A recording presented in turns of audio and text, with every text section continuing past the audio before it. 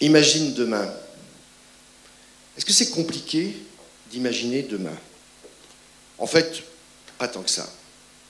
Si on veut imaginer demain, il faut arrêter de se censurer, de s'auto-censurer. Il faut surmonter les obstacles réels ou fantasmés de la politique, de l'économie, des conventions sociales, des habitudes, des traditions culturelles. Il suffit de regarder le monde tel qu'il est, de se dire qu'est-ce qu'il faudrait qu'on change, qu'on change évidemment en mieux. Alors imaginons, imaginons un monde où le mot féminisme appartient à l'histoire, où ce mot, la signification de ce mot, n'est plus connue que par les philologues. Pourquoi? Parce que les femmes et les hommes ont le même salaire, les tâches ménagères sont partagées à égalité entre les hommes et les femmes, et les femmes ne sont plus violentées et harcelées. Imaginons un monde où on croise dans la rue des personnes à mobilité réduite parce que les trottoirs sont adaptés. Imaginons un monde où on ne passe plus directement de l'école au chômage. Imaginons un monde où tout chômeur a droit à une vraie formation qui lui permette de retrouver un emploi. Imaginons un monde où dans les supermarchés grecs, on ne trouve plus de tomates produites dans le nord de l'Europe. Imaginons un monde sans paradis fiscal. Imaginons un monde où on mesure effectivement le coût réel pour la société, pour la planète, d'un kilowatt d'électricité d'origine fossile et d'un kilowatt d'électricité d'origine éolienne. Imaginons un monde où il n'y a plus d'écart de salaire extraordinaires, immenses, justifiés, mal justifiés par des écarts de responsabilité entre ceux qui sont en bas de l'échelle et ceux qui sont en haut. Imaginons un monde où il n'y a plus, comme le rappelait récemment le prix Nobel de la paix, Mohamed Younous, huit personnes dans le monde, huit personnes qui possèdent autant de richesses que 4 milliards d'individus. Imaginons un monde où on ne tue plus les abeilles à coups d'insecticides. Imaginons un monde où la religion n'impose plus ses normes. Imaginons un monde où on ne renonce pas à se soigner parce qu'on n'a pas d'argent. Imaginons un monde où le système éducatif est au service des enfants et pas l'inverse. Imaginons un monde où l'administration est au service des citoyens et pas l'inverse. J'arrête. Tout ça est utopique? Non. Toutes les propositions que je viens d'énoncer ont toutes déjà des solutions qui ont été imaginées. Il suffit de les mettre en œuvre. Savez-vous combien de millions de personnes ont été sauvées par le microcrédit? Savez-vous qu'on fabrique en France aujourd'hui des jeans 100% made in France au même prix que les jeans qui ont fait 10 000 ou 20 000 kilomètres pour arriver en France? Savez-vous quels sont les rendements faramineux de la permaculture? Savez-vous combien de millions de salariés ont créé ou sauvé leur entreprise et leur emploi en fondant une coopérative Savez-vous quel est le coût d'une maladie non soignée à temps par rapport au coût d'une maladie soignée à temps? Savez-vous quel est le coût de l'évasion fiscale? J'arrête. Ce matin, nous allons avoir euh, des pitchs de jeunes, de moins jeunes, qui vont imaginer à voix haute devant nous. Vous allez voir, aucun, aucune des orateurs ne va nous présenter une vision noire de la Grèce de demain ou de 2050. Toutes les idées qu'ils vont, vont nous faire découvrir ce matin sont des idées euh, lumineuses. C'est très bon signe. Merci. Christophe Chantepie. Merci beaucoup, monsieur l'ambassadeur. Merci. Bonjour à tous et bienvenue. Alors, comme vous avez vu ce matin, on imagine. Et ça va se passer en deux temps. D'abord, on va imaginer la Grèce de 2050 et puis imaginer le quotidien, euh, que ce soit en Grèce, en France ou euh, dans l'international, en 2050 aussi, avec des plus jeunes. Et d'abord, donc, il y a cette première partie. Comme vous l'a dit l'ambassadeur, l'ambassade de France voulait imaginer, faire rêver une Grèce de demain avec un quotidien un peu différent. Alors qu'est-ce qu'elle a fait? Elle a lancé un appel à pitch avec des idées, un appel à idées en disant ben, soumettez-nous vos idées pour une Grèce peut-être meilleure pour 2050. Et effectivement, ils n'ont reçu aucune idée négative. Rien sur la pollution, euh, rien sur, euh, comme vous l'a dit l'ambassadeur, euh, rien de négatif que du positif. Eh bien, ces idées, elles ont été présélectionnées par un jury qui se trouve ici devant nous, que je salue. On va le citer, ce jury. Il y a d'abord Adrien Aumont de Kiss Bank Bank, Rena Dourou de la région d'Attique, d'Athènes, Christian Carambeu de l'Olympiakos, Alexis Papachelas du journal Cassimerini, Georges Papalexi de euh, la maison joaillière Zolotas, Dimitri Sissiaridis de Yumi Pop et Amalie Azepou de la municipalité d'Athènes, que je salue. Et eh bien, ce jury à travailler en amont et à sélectionner la plupart des pitchs que vous allez voir pour qu'aujourd'hui, eh il y ait une bataille de pitch. C'est-à-dire que deux vont s'affronter et le jury ici présent euh, choisira euh, chacun, chaque, enfin, choisira un pitch par catégorie. Il y a sept catégories l'agriculture, l'énergie, la santé, la réforme de l'État, l'environnement, la finance et le tourisme. Tout ça pourquoi? Parce que l'innovation, c'est pas que des algorithmes, c'est pas que du euh, sky, euh, euh. L'innovation, c'est aussi donner envie, donner du positif, et c'est ici qu'on va entendre donc de nouvelles idées pour 2050. Je vous laisse apprécier la bataille de pitch. Jury, à vos crayons. C'est parti. On commence tout de suite, je mets sur le côté, avec la première bataille pour entre Scape et Hands Up. On commence par Scape. C'est à vous. On peut l'applaudir.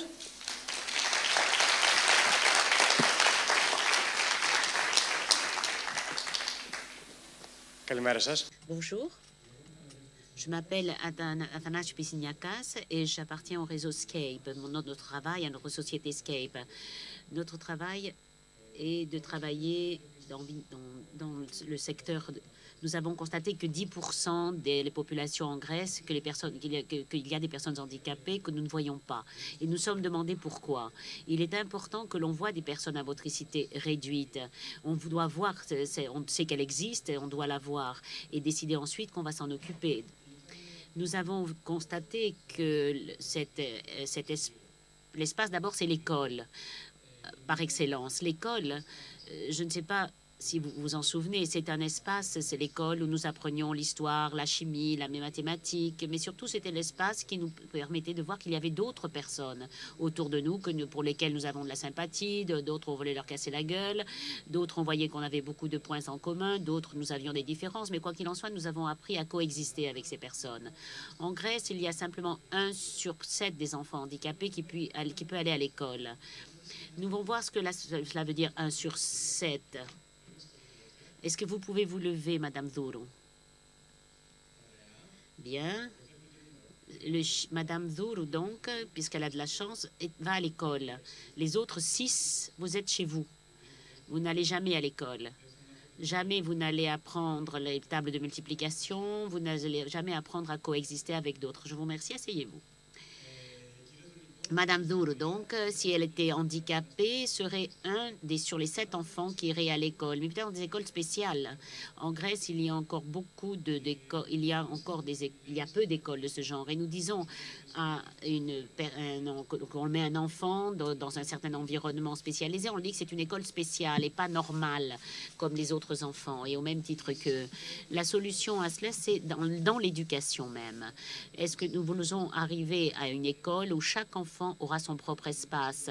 Ce qui va nous intéresser, ce n'est pas que l'enfant, de quel est d'où il vient, de, de, quelles sont ses origines, s'il aime les filles ou les garçons, quelle est sa religion ou s'il souffre d'un handicap moteur on a besoin de très peu de changements finalement. Euh, il faut qu'un maître, un professeur euh, ait, un enfant dans sa classe, un enfant handicapé. Notre travail donc à Scape, c'est d'aller chaque jour dans les écoles et d'informer les enfants sur ce que signifie le handicap et comment une personne à motricité réduite peut vivre la même vie que les autres de façon entre guillemets normale.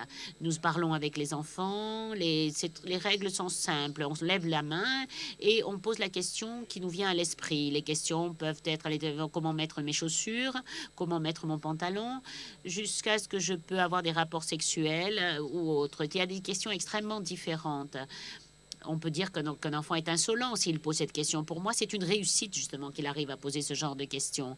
Jusqu'à présent, lorsqu'un enfant de 5 ans euh, rencontre avec sa maman un, jeune, un jeune enfant de couleur, euh, noire ou d'une autre origine, sa mère va lui dire ne regarde pas, va lui répondre ne regarde pas. Lorsqu'il il ne faudra pas dire dans une autre société, justement, ce n'est pas, il faudra regarder au contraire et non pas éviter de regarder ceux qui sont différents. Notre travail euh, n'est pas de faire des choses, mais de briser les stéréotypes et les cloisons. Et nous pensons que les, enfants sont nos meilleurs alliés dans cette bataille. Ce sont des enfants qui vont grandir et c'est eux qui, plus tard, vont euh, accueillir un, enfant handicapé comme un ami, comme un collaborateur, comme un compagnon ou une compagne à ses côtés, de toute façon. Donc nous devons comprendre que le handicap, c'est une caractéristique euh, comme on dit par exemple, je m'appelle Panayot, j'ai des yeux verts et j'ai un handicap. J'ai un handicap. C'est un des traits de ma personnalité, mais ce n'est pas ce qui me caractérise à proprement parler. Je suis content que nous commencions cette discussion sur Mazinov. Nous, on parle de Mazie ensemble. Heureusement, nous pouvons être tous ensemble. Nous imaginons un monde où tout le monde a son espace, où il y a un rôle pour chacun d'entre nous, pour tout un chacun. Et en répondant à la question de la manifestation d'aujourd'hui, la Grèce que nous imaginons, c'est une Grèce et c'est une, Grèce qui va euh, vivre comme nous le faisons chaque, chaque jour. C'est un hands-up de prendre la parole.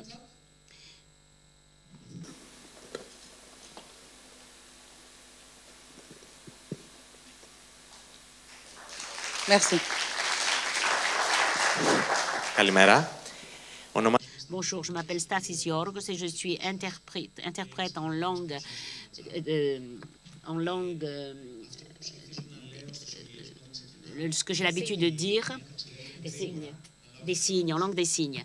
Euh, la raison pour, les malentendants, les non-entendants de ce pays, c'est deux, deux dont je vais parler. Leur information est toujours décalée, retardée.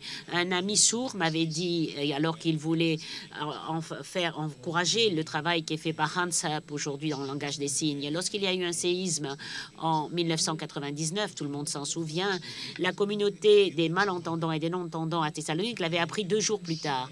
Par conséquent, en raison de cette pénurie, de cette carence, nous avons pensé à faire un site où tous les articles sont visualisés et sont exprimés en langue des signes avec des interprètes professionnels et parallèlement avec des sous-titres éventuellement. Maintenant, vous allez me dire, puisqu'il y a tellement de sites en grec, pourquoi est-ce que l'on peut voir euh, sur un site euh, la langue des signes? Parce qu'être langue a une structure différente, une syntaxe différente et un mode de pensée différent de la part de celui qui le parle, qui la parle. Lorsqu'on va lire un texte écrit en grec, on ne pourra pas comprendre le fond du texte ou alors mal le comprendre. Donc, pour avoir un accès à 100% à l'information, il faut que ce texte soit traduit en langue des signes. Par conséquent, nous avons fait le Hans trait d'union app où nous informons les malentendants, mais aussi les entendants, parce qu'il y a beaucoup de choses que nous ne connaissons pas sur les sourds.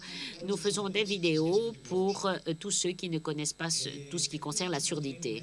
Excepté cela, l'information ne signifie pas qu'à partir du moment où il y a l'information, elle est accessible à tous. Il faut un accès, et les malentendants et les non-entendants ont besoin. Nous avons une agence d'interprètes en langue des signes. Nous, nous offrons donc des services, des prestations d'interprètes d'interprètes dans différents séminaires et conférences et aussi un service pour les le sous-titrage pour ceux qui ne connaissent pas la langue des signes.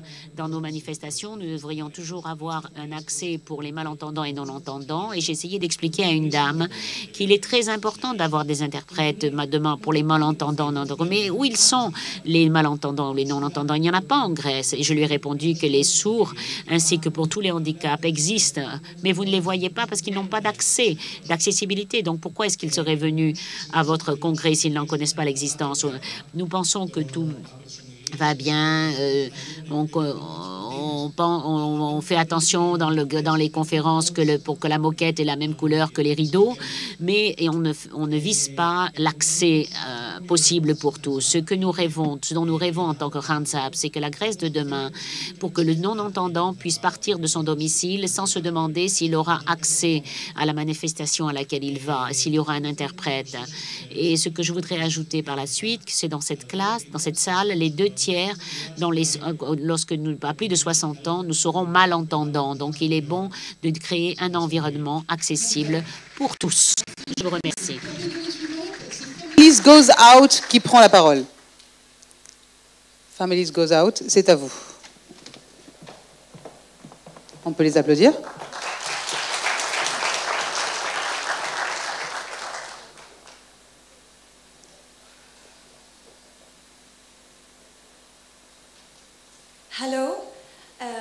I'm Marianne Najma and I'm the founder of FamilyGoesOut.com. When I became a mother, I realized that Greece is perfect for holidays with kids. I mean, kids are really having fun here. Safe beaches, entertaining history, healthy food, great weather, even Greek people love kids. And I also realized that it's not easy to find where to go and what to do with your family. It's not easy. Uh, it's, uh, there is a lack of information on which places are suitable for families. So I made a research and I discovered that over 20,000 businesses, such as accommodations, restaurants, activities, services, are family friendly.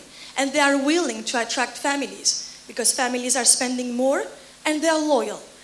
But those businesses don't know how to reach families directly, which is a pity because the, the Mediterranean family tourist market is over 71 million people and only 8 million families went to Greece last year.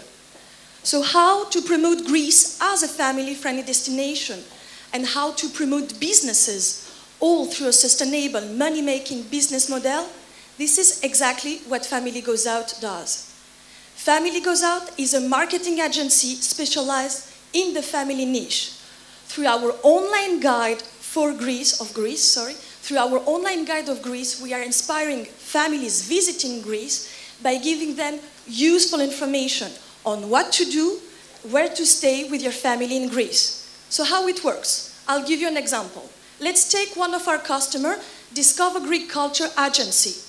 They are providing Acropolis tour specially for kids. What we have done for them, we have created a campaign, a Facebook advertisement with inspiring content, and we have spread the word to targeted, potentially interested families abroad. Secondly, this campaign this Facebook advertisement redirect on our online guide on a full detailed page of this tour where you can find all the information that a family needs to know before to book, like family facilities, age appropriate, uh, suggestion nearby, um, tips and advices for families, and so on. The result of this campaign 25,000 families have seen this ad on Facebook, followed by 10 complete bookings. Discover Agriculture was not only a happy customer, they repeat their purchase six months later. It's exactly the same method for accommodations, restaurants, and services. How are we earning money? We are earning money through a B2B business model. We are earning, uh, um, uh, we offer businesses different type of campaign, and for each campaign, we notify them how many uh, families will be reached by this promotion. What we have achieved until now, we have a complete online guide in three languages, French, Greek, and English, uh, with over 350 places and activities. For each one, we have uh, the characteristic, the filters, uh, so the families can see if it is suitable for their needs. We have 15 paid customers. We have nearly 30,000 page views per month. And last July, we have launched uh, a new uh, service, Travel Light service. So now parents can rent stroller, baby gear, uh, baby coat during their stay in Athens. They don't have to bring it uh, from abroad. Uh, about our team, I'm a French-Greek user experience designer. Katia Papaspiliopoulos is a Greek-French cultural and educational project manager. Uh, Susanna, she's not here today, is a multilingual, is our multilingual content writer. We are the best uh, to find activities for, our, for families, and we are the best to inspire families. But now we need your help Uh, there is, uh, there is, uh, it's now we, we really need a boost. We know that we have increased the family tourist market until now. Uh, we need a deep collaboration with the public tourism sector for advertisement and, and for access to their network. Uh, we need also a valuable sponsorship uh, from a private company that is ready to bet on us. So with your help, in the near future, we are planning that Greece would be the most popular family-friendly destination. Thank you. Thank you. Families goes out. Troisma. C'est à Troisma maintenant. Bonjour. Kalimara. Kalimera Kapomana. Kalimera. Bonjour. Bonjour aussi, je m'appelle Yorgos Profitilioutis et je suis euh, ingénieur en, en, électricité et je suis aussi, j'enseigne aussi à l'Institut technologique d'Athènes. Je, travaille dans les secteurs euh, de de, de, de, la narration. J'écris aussi des contes de science-fiction et ce sont des, des, secteurs qui paraissent quelquefois incompatibles, mais c'est précisément ces secteurs qui m'ont permis de percevoir cette idée que je vais vous présenter aujourd'hui. Je m'appelle une application pour des smartphones qui va euh, guider un touriste euh, dans l'avenir, dans un environnement urbain, en utilisant un récit interactif. Euh, donc, le, marché cible de cette application, c'est surtout le tourisme urbain, qui représente les 33 du marché touristique en général. Et c'est un marché donc qui se développe dans l'ordre de 7% par an. C'est un grand marché. La Grèce ainsi que d'autres villes, ou l'Athènes plutôt, je m'excuse, comme d'autres villes européennes, dit l'orateur, ont un, une base, une histoire très culturelle très, qui remonte dans le temps. Et un touriste urbain qui, par définition, rend visite à une grande ville pour deux ou trois jours n'a pas le temps de la connaître, cette ville, en profondeur et en détail. Jusqu'à présent, ces touristes urbains utilisent des guides électroniques qui présentent des détails touristiques d'une façon quelquefois ennuyeuse, non, qui n'est pas interactive et ils perdent leur intérêt, n'ont plus d'intérêt euh, pour cette ville. Donc cette application voudrait résoudre ce problème en proposant un récit interactif qui va entrer en alter, qui va changer au cours de la promenade et du périple du tourisme. Et je vais vous dire, je vais vous expliquer comment fonctionne cette application.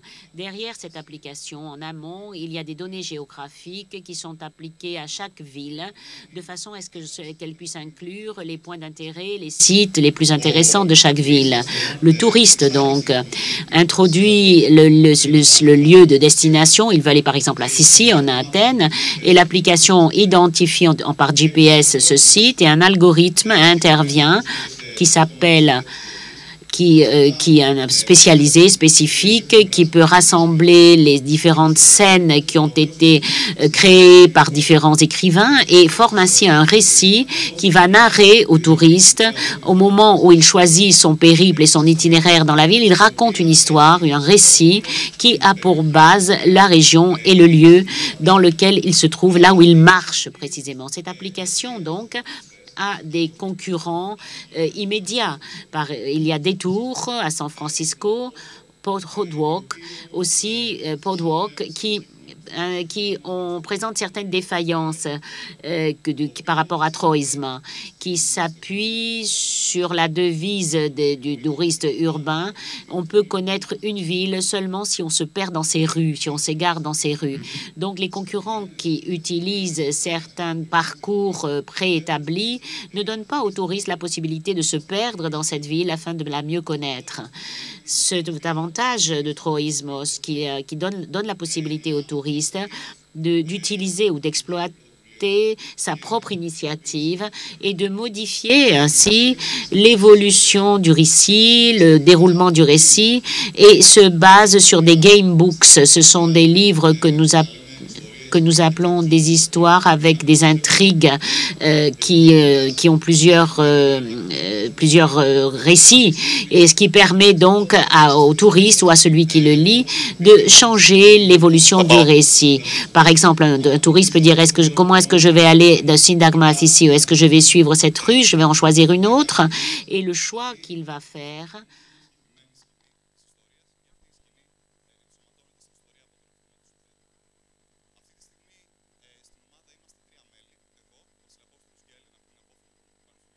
qui sont aussi euh, diplômés de l'Université d'Athènes. Et notre but est d'aller le plus rapidement possible, passer de l'idée à la réalisation. Et pour cette raison, nous avons compris qu'il n'y a pas de, difficultés techniques euh, fondamentales et nous préparons à titre de, de, programme pilote le contenu de ce programme et nous, avons, nous allons développer une application euh, de prototype pour les faire utiliser par les par les utilisateurs potentiels et l'améliorer ensuite. Le business model était ce que nous appelons la, location basée sur la publicité et quand le, le, le, touriste se trouve dans tel ou tel quartier, il puisse recevoir toutes les informations nécessaires qu'il va écouter dans ses écouteurs et qu'il va modifier euh, moyennant le parcours que lui-même va choisir. Je vous remercie. Allez, on change de catégorie. Agriculture avec Olive Tries Restoration. Bonjour à tous. Bonjour. je vais parler en français. Euh, bonjour, je m'appelle Morgane, Morgana en grec. Euh, donc je suis venue vous parler de l'olivier, le patrimoine de l'olivier, euh, ce patrimoine végétal vivant qui est présent partout ici en Grèce, qui est plutôt bien enraciné, on va dire. Euh, alors moi je suis arrivée en Grèce pour faire mes études et je me suis retrouvée après un certain temps, un petit peu dans comme dans le cas de plusieurs jeunes de mon âge, avec la, la, question, le problème de l'emploi. Donc je me suis expatriée en campagne, en Crète plus particulièrement, où là j'ai commencé à travailler dans le domaine de l'agriculture qui n'est absolument pas mon cursus universitaire de base. Et donc petit à petit, j'ai fait une observation, euh, beaucoup d'abandon par rapport à l'olivier, beaucoup d'olivraies qui étaient abandonnés. Donc je me suis posé la question du pourquoi. Et j'ai noté différentes raisons qui pouvaient être géographiques. Les personnes étaient parties de ces villages. Euh, physiques, elles ne pouvaient plus euh, prendre en charge ces oliviers. Ou alors économiques, c'est-à-dire que financièrement, ils ne pouvaient absolument plus travailler ce patrimoine-là qu'ils ont pourtant. Donc à partir de ça, on a créé avec mon coéquipier euh, tout un projet autour de, on a initié ce projet autour de la restauration d'oliviers. Donc la restauration d'oliviers, qu'est-ce que c'est? C'est de remettre en état ces arbres, donc de prendre en charge euh, ces arbres de propriétaires, ce ne sont pas des arbres qui nous appartiennent, et donc de travailler au défrichage des terrains, euh, de limiter la végétation environnante qui pendant des dizaines et des dizaines d'années euh, a grandi, et de travailler, d'intervenir sur les arbres en eux-mêmes en travaillant la taille et le nettoyage. On travaille aussi bien sur des arbres relativement jeunes, certains qui sont millénaires. À l'heure actuelle, on travaille sur 1500 arbres à peu près. Alors j'appelle ça les chantiers de restauration. Alors ils ont une autre facette, ces chantiers de restauration sont aussi des chantiers pédagogiques et ludiques. Euh, je me suis dit qu'il fallait que je les mette à disposition parce que ça pouvait être un espace très intéressant à travailler. Et donc les mettre à disposition des jeunes entre 18 et 30 ans pour leur insertion, réinsertion professionnelle. Donc on a créé un partenariat avec une mission locale, notre premier partenariat euh, en France, qui donc on accueille des jeunes. Euh, l'idée c'est quoi? C'est de créer un espace-temps où on a l'opportunité de pouvoir aborder différentes choses, des valeurs de travail, d'entraide, euh, d'échanges culturels, de valorisation du patrimoine et bien sûr de confiance en soi et en l'autre et aussi d'organisation individuelle et collective. Donc voilà, alors j'espère pouvoir mettre en place d'autres partenariats euh, de ce type. Alors vous allez me dire, c'est bien joli Morgane, tout ça, euh, la restauration d'Olivier, c'est sympa, c'est symbolique, euh, voilà. Comment est-ce qu'on finance tout ça? Alors on s'autofinance, c'est-à-dire que nous on est aussi artisans, les culteurs, enfin petits producteurs. Donc on a une vente d'huile d'olive chaque année, on a une récolte, on vend notre huile d'olive en direct aux particuliers, en France, en Belgique, en Allemagne. Et sur un an et demi de temps, on s'est rendu compte qu'on avait beaucoup plus de demandes que ce qu'on pouvait offrir. Donc là, on s'est posé la question euh, est-ce qu'il faut qu'on prenne plus d'olivier, plus d'olivier en charge euh, alors on s'est dit, bon, ça va être un peu compliqué, on a déjà du travail jusque-là. Euh, et c'est là que je me suis dit, mais au village, j'en sais rien, moi, il y a Fotini, la voisine, qui cultive aussi ses arbres, il y a Manolis en haut du village, la même chose, un tel dans une autre vallée, voilà. Et je me suis dit, pourquoi est-ce que je ne vais pas les mettre en relation, justement Donc, euh, créer finalement une plateforme qui puisse mettre en relation pour de la vente directe des potentiels clients partout en Europe et euh, ces personnes qui finalement cultivent l'olivier comme leur jardin. Euh, et c'est finalement quoi? C'est la culture dite traditionnelle de l'olivier en Grèce. et ça pourrait permettre, si vous voulez, de multiplier par trois la valeur de leurs produits, donc de leur matière première, l'huile d'olive, euh, par rapport à ce qu'ils peuvent vendre en coopérative. Donc c'est assez intéressant et ça permet de, dégager pour ces personnes-là un réel complément de salaire ou un réel complément de retraite. Et donc les motiver à continuer à cultiver leurs arbres. Alors je vous ai parlé de l'olivier du futur, du futur de l'olivier, euh, et de développer en fait sa richesse, euh, cette richesse, celle de son fruit et de cette matière première qui est quand même assez incroyable. Qu'est-ce que je veux pour la Grèce de demain? C'est de pouvoir tout simplement préserver, dynamiser et partager. Ce que je veux, c'est mettre en place l'identification des oliviers qui sont abandonnés et des parcelles qui sont non exploitées ce que je veux aussi, c'est pouvoir euh, travailler sur la restauration et créer davantage de partenariats, notamment pour euh, la réinsertion professionnelle des jeunes, et aussi permettre euh, à ces personnes qui aujourd'hui cultivent leurs arbres de leur donner une plus-value sur cette matière première qui est l'huile d'olive et les motiver à continuer à cultiver leurs arbres partout en Grèce. Merci, Merci Morgane, merci beaucoup. Merci. Et c'est Stevia Hellas qui prend la place. Stevia Elasco.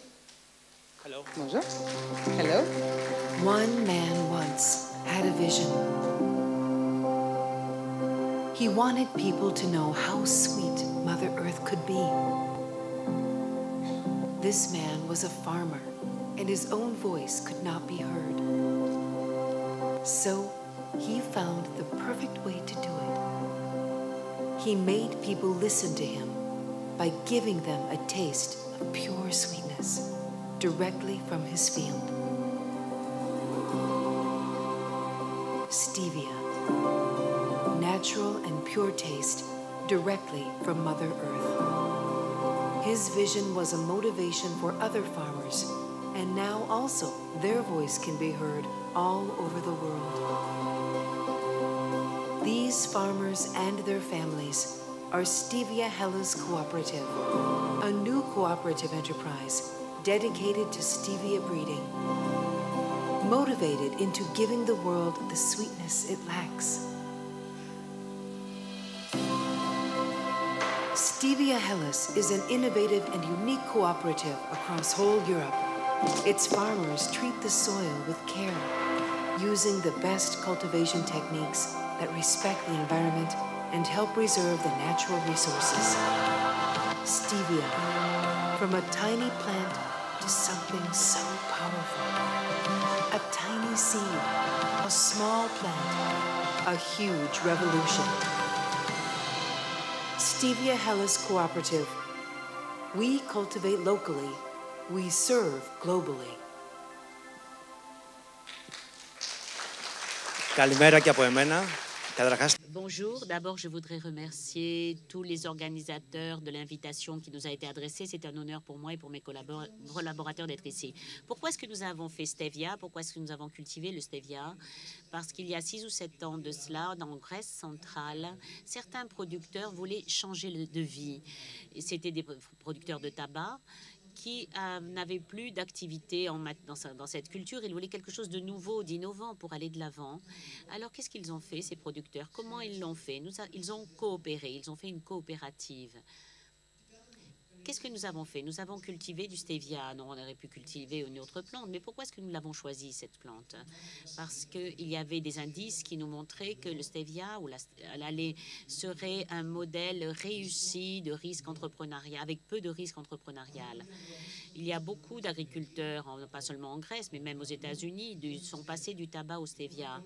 Coca-Cola a lancé en 12 la Coca-Cola Coca Life avec du stevia. Donc nous voyons un immense marché. Nous voyons aussi autre chose. Les 20% de la population mondiale sont, est diabétique et notre produit leur est consacré, leur est destiné. C'est un peu comme ça que nous avons commencé fin 2011, début 2012. Les premières étapes étaient difficiles à franchir. Beaucoup d'échecs, jalonnés d'échecs, surtout dans les trois ou quatre premières années, mais nous sommes battus. Nous, avons, nous sommes efforcés d'aller de l'avant et aujourd'hui, nous avons le plaisir d'avoir des produits finaux nous nous trouvons dans tous les supermarchés de Grèce. Notre chiffre d'affaires double d'une année sur l'autre et ce qui double aussi, ce sont les les emplois qui se sont multipliés à Lamia, à deux, dans Grèce centrale, et pas seulement à Athènes. Il y a une semaine, j'étais à Bruxelles euh, dans le conseil de la recherche scientifique et il y avait 16 études de cas et que la Commission européenne veut copier et, appliquer dans d'autres pays européens. Nous avons, nous avons réussi, je peux dire, mais moyennant un long combat et des efforts acharnés. Jusqu'à présent, nous avons réussi tout cela parce que nous avons établi une très bonne collaboration avec une entreprise française. C'est la seule c'est là que nos produits sont distillés en coopération avec cette entreprise française. Notre but, c'est que d'ici 2022, dans notre business plan, nous allons ouvrir une deuxième unité avec un investissement de 10 millions en Grèce. Ceci va se faire toujours en coopération avec l'entreprise française. Et en concluant, je voulais dire que si nous voulons ouvrir le secteur agricole, pas en 2020, 2020 c'est tout près, mais en 2030, il y a trois choses à faire. Synergie, coopération, cela ne veut pas dire simplement entre agriculteurs ou entre entrepreneurs. La synergie à différents niveaux. Technologie, recherche, la, la recherche et la technologie doivent se rapprocher dans tous les secteurs de la société. Et enfin, puisque l'on parle des agriculteurs et des produits, nous allons nous rapprocher le plus possible du consommateur. Un producteur proche du consommateur, c'est lui qui gagnera le plus c'est le mieux. Je vous remercie. Lighthouse maintenant, on change de catégorie et on part pour l'énergie. Lighthouse, bonjour. Kalimera. Bonjour, je m'appelle Christos Edrokitis et je suis chercheur de la forme, de la, du groupe Lightit. Nous devons tous nous assurer du chauffage dans nos maisons respectives. Nous le faisons en, achetant du mazout, du bois que nous brûlons dans nos cheminées ou que dans nos brûleurs que nous payons très cher et nous émettons beaucoup de fumée. Donc nous imaginons la Grèce et l'Europe de demain, de l'avenir, qui n'utilisera pas autant de combustible. Et nous allons remplacer dans la mesure du possible par le soleil tous ces carburants. Bien sûr, la nécessité de chauffage est immense 50, les 50 de la demande énergétique mondiale. Et jusqu'à présent, il n'y a pas eu de solution renouvelable pour, pour modifier ce secteur. Tout ce que nous savons sur l'énergie thermique, sur la photovoltaïque, on pourrait objectif l'autre secteur qui est l'électricité et le transport. Pour le chauffage, on n'en a pas suffisamment parlé. Et les sélecteurs, euh, les panneaux solaires euh, sont utilisés surtout pour les l'eau, pour chauffer l'eau euh, dont nous avons besoin. Donc les besoins sont immenses et les opportunités aussi le sont immenses. C'est pour cette raison que nous occupons de ce secteur. Ce que nous faisons, c'est ce que l'on, c'est le nom Light Heat. Light Heat. On utilise la lumière pour produire du chauffage. Et ça, on le fait avec le sélecteur Lighthouse au solaire. Nous utilisons une technologie qui est utilisée par les phares, des phares de type Fresnel. C'est pour mieux comprendre. Ce sont des lampes comme celui-ci qui euh, concentrent la lumière. Nous utilisions de telles lampes, beaucoup plus grandes bien sûr, afin de concentrer la lumière et de la transformer en une énergie thermique de haute température que nous pouvons utiliser directement dans les ballons d'eau chaude et dans tous les systèmes de chauffage euh, de particulier. On fait à peu près ce que nous faisions quand nous étions enfants. Même si cela peut vous paraître simple, le brevet a 10 points d'innovation selon les règles. Nous utilisons l'énergie solaire et en plaçant des lighthouse, des panneaux lighthouse sur le toit de notre maison ou de notre usine, nous pouvons les connecter avec les systèmes de chauffage, les systèmes de chauffage que nous avons chez nous ou les, les machines dont nous avons chez nous, dans nos entreprises, et remplacer les 60% des combustibles utilisés par l'énergie solaire et avec des périodes d'amortissement de, trois ans. Nous avons fait des mesures, des évaluations officielles sur des prototypes de taille réelle. Nous avons fait des essais. Nous avons une excellente évaluation de l'horizon 2020 et nous figurons parmi les, les quelques entreprises qui ont été financées par le programme euh, relatif. Nous avons gagné un concours de MIT euh, qui recherchait des solutions pour le chauffage euh, de certaines installations à Boston. Et tout ce développement jusqu'à présent a été fait dans notre groupe en nous basant sur nos propres techniques scientifiques et sources économiques dont nous disposons. Nous sommes très proches du marché. Nous avons une étude de faisabilité euh, prête à fonctionner. Nous avons un business plan. Mais pour ce faire et pour aller le plus rapidement possible, nous sommes ouverts à toute coopération avec d'autres entreprises ou avec des investisseurs. Là aussi, nous avons besoin de votre aide. Donc, nous imaginons l'Europe et la Grèce de demain avec le Lighthouse comme protagoniste solaire dans toutes les maisons, dans toutes les entreprises, qui pourra contribuer de façon efficace à la réduction de l'utilisation des combustibles que nous utilisons pour le chauffage et pour euh, diminuer le coût de cette énergie impliquée. Et puisqu'il y aura moins de combustible dans les villes, l'air sera plus pur dans nos villes et nous allons aussi réduire les émissions d'air à effet de, de gaz à effet de serre et aussi, ce qui est important, nous allons contribuer à renforcer la sécurité énergétique de la Grèce, mais aussi de l'Europe. Je vous remercie de m'avoir entendu. Et maintenant, c'est au tour de transporteur. Bonjour, on peut l'applaudir. Bonjour, cher jury, bonjour. Je m'appelle euh, Raphaël Bosch-Joubert. Je suis euh, un entrepreneur, d'autres diraient un entreprenant. Je suis euh, quelqu'un d'enthousiaste et euh, j'aime euh, communiquer cet enthousiasme pour constituer des équipes et relever des défis, se mettre en action pour relever des défis. Je pense que la vie est plus simple qu'on l'imagine. Je crois aussi, parce que je suis assez réaliste, qu'on vit des crises majeures, crise écologique, crise économique. Mais la crise, c'est euh, aussi la condition sine qua non de l'innovation. C'est en période de crise qu'on euh, peut vraiment dépasser, se dépasser, se mettre debout pour euh, innover.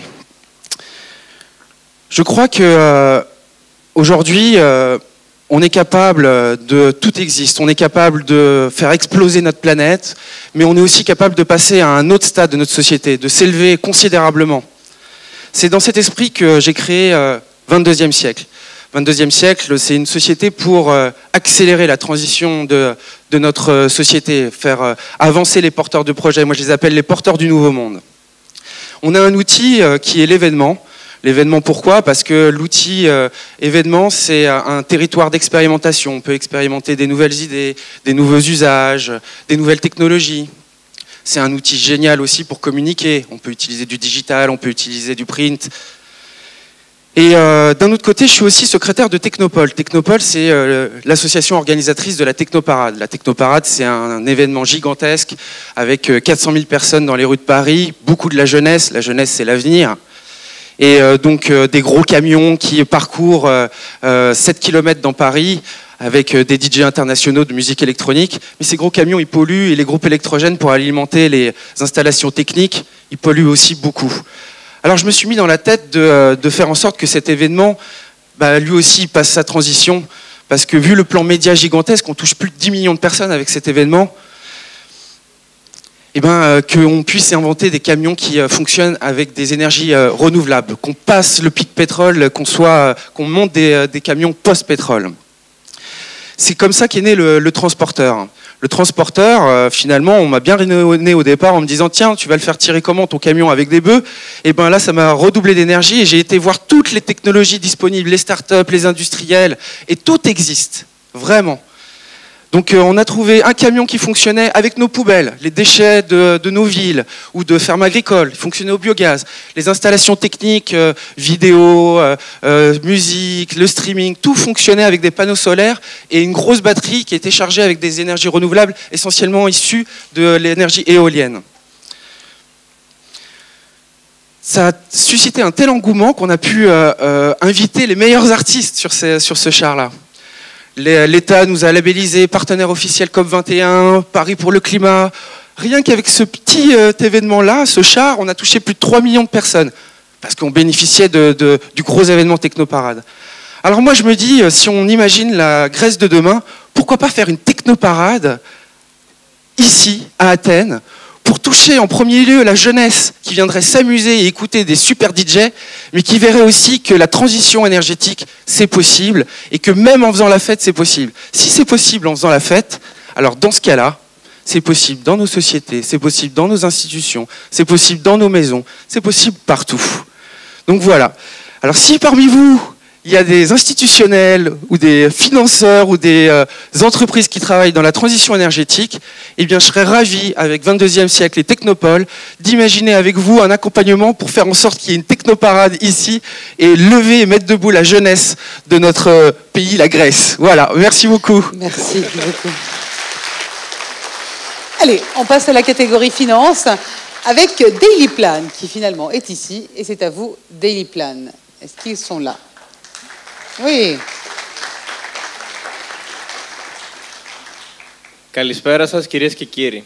Bonsoir mesdames et messieurs, je m'appelle Alexandros Voritis, j'ai 19 ans et je suis cofondateur de l'entreprise Daily Plan. Je voudrais vous poser une question à vous tous qui êtes ici. Est-ce que vous vous êtes jamais trouvé? Je ne veux pas que, vous me répondiez par un oui ou par un non, levez la main ou quoi que ce soit. Je voudrais que vous en fassiez une image dans votre esprit. Est-ce que vous êtes déjà trouvé dans une situation très désagréable? Où nous avons les 28, euh, le 28 du mois qui va se terminer, mais notre budget mensuel ça a déjà terminé depuis une semaine. Nous n'avons pas de quoi boucler donc notre budget. Nous allons vivre pendant dix jours en tant qu'étudiants par deux ou trois euros en Grèce ou à Athènes. C'est pas facile. Et je vois qu'il y en a pas mal parmi vous qui ont déjà vécu cette situation. Donc j'entre dans le vif du sujet. Daily Plan, une plateforme, une plateforme qui est programmée pour les étudiants et étudiantes, conviviale pour les jeunes et qui va aider beaucoup de personnes à Athènes et en Grèce.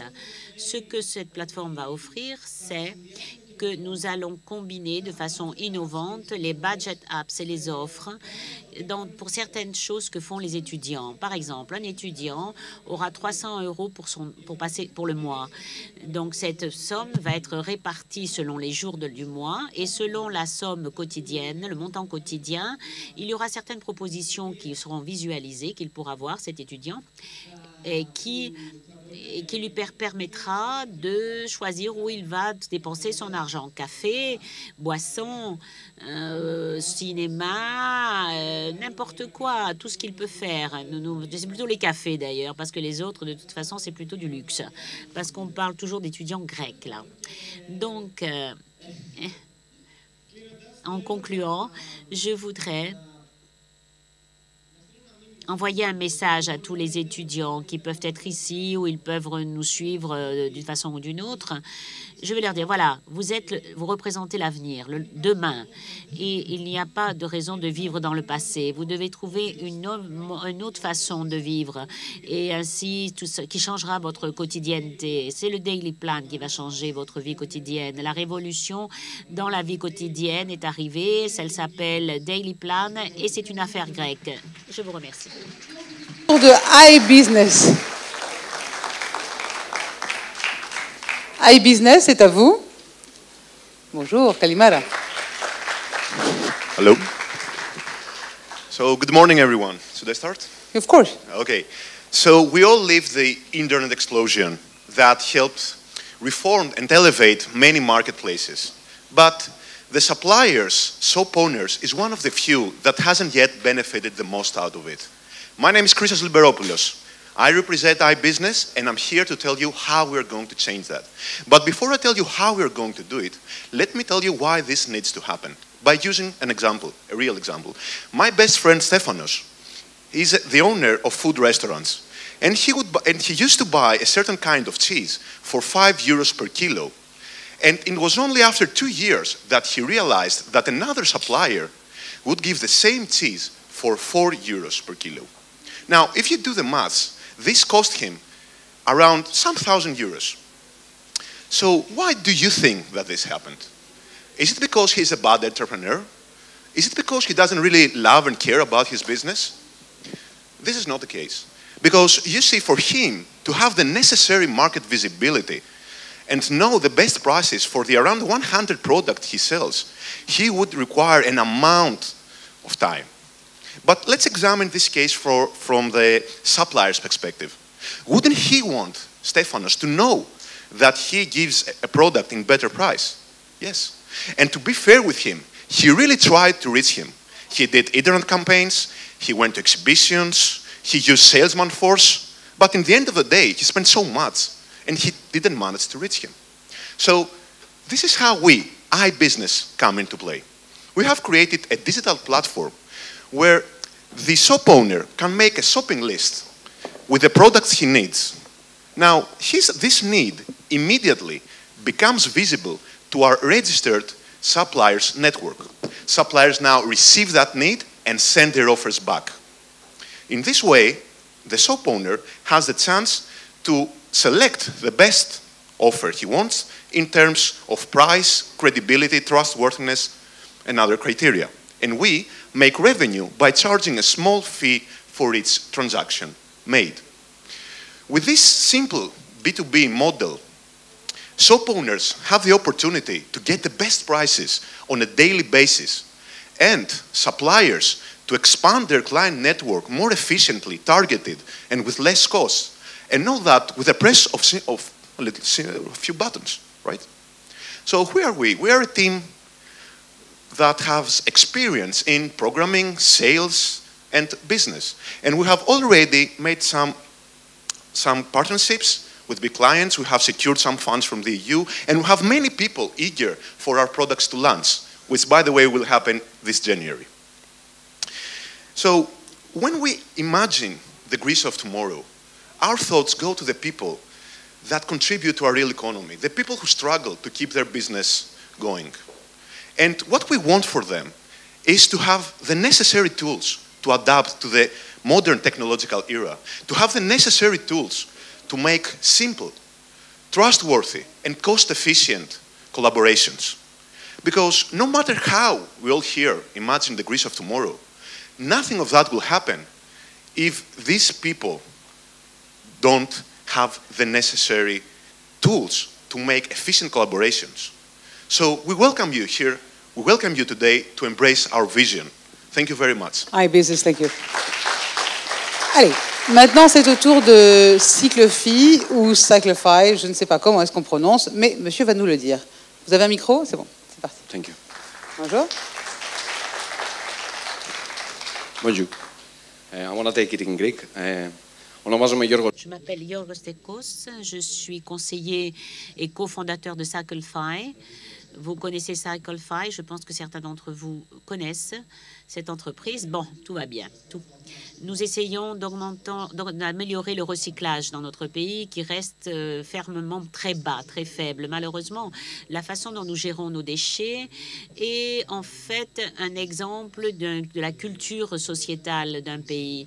Et au niveau municipal, les municipalités recyclent à peu près 5% alors que dans d'autres pays d'Europe, les pourcentages dépassent les 30 au niveau municipal. Donc, pour pouvoir euh, lancer CycleFi, nous avons mené une grande recherche grâce à laquelle euh, nous avons pu avoir aboutir à deux résultats importants. Le premier concernait disait que un des sur 10 des participants ne, ne considéraient pas que ce qu'ils jetaient dans la benne bleue en plastique allait être concerné, allait être destiné au recyclage. Et 8 sur 10 voulaient avoir une bonne motivation afin de continuer à participer à ce processus de recyclage et y avoir confiance. Voilà ce que c'est qu'elle fait. C'est un sac un, sac euh, intelligent et chaque citoyen sait que ces déchets seront recyclage, iront au recyclage. Pour tous les citoyens qui achètent nos sacs, on leur offre des coupons de réduction des, euh, qui concernent par exemple les notes d'électricité, les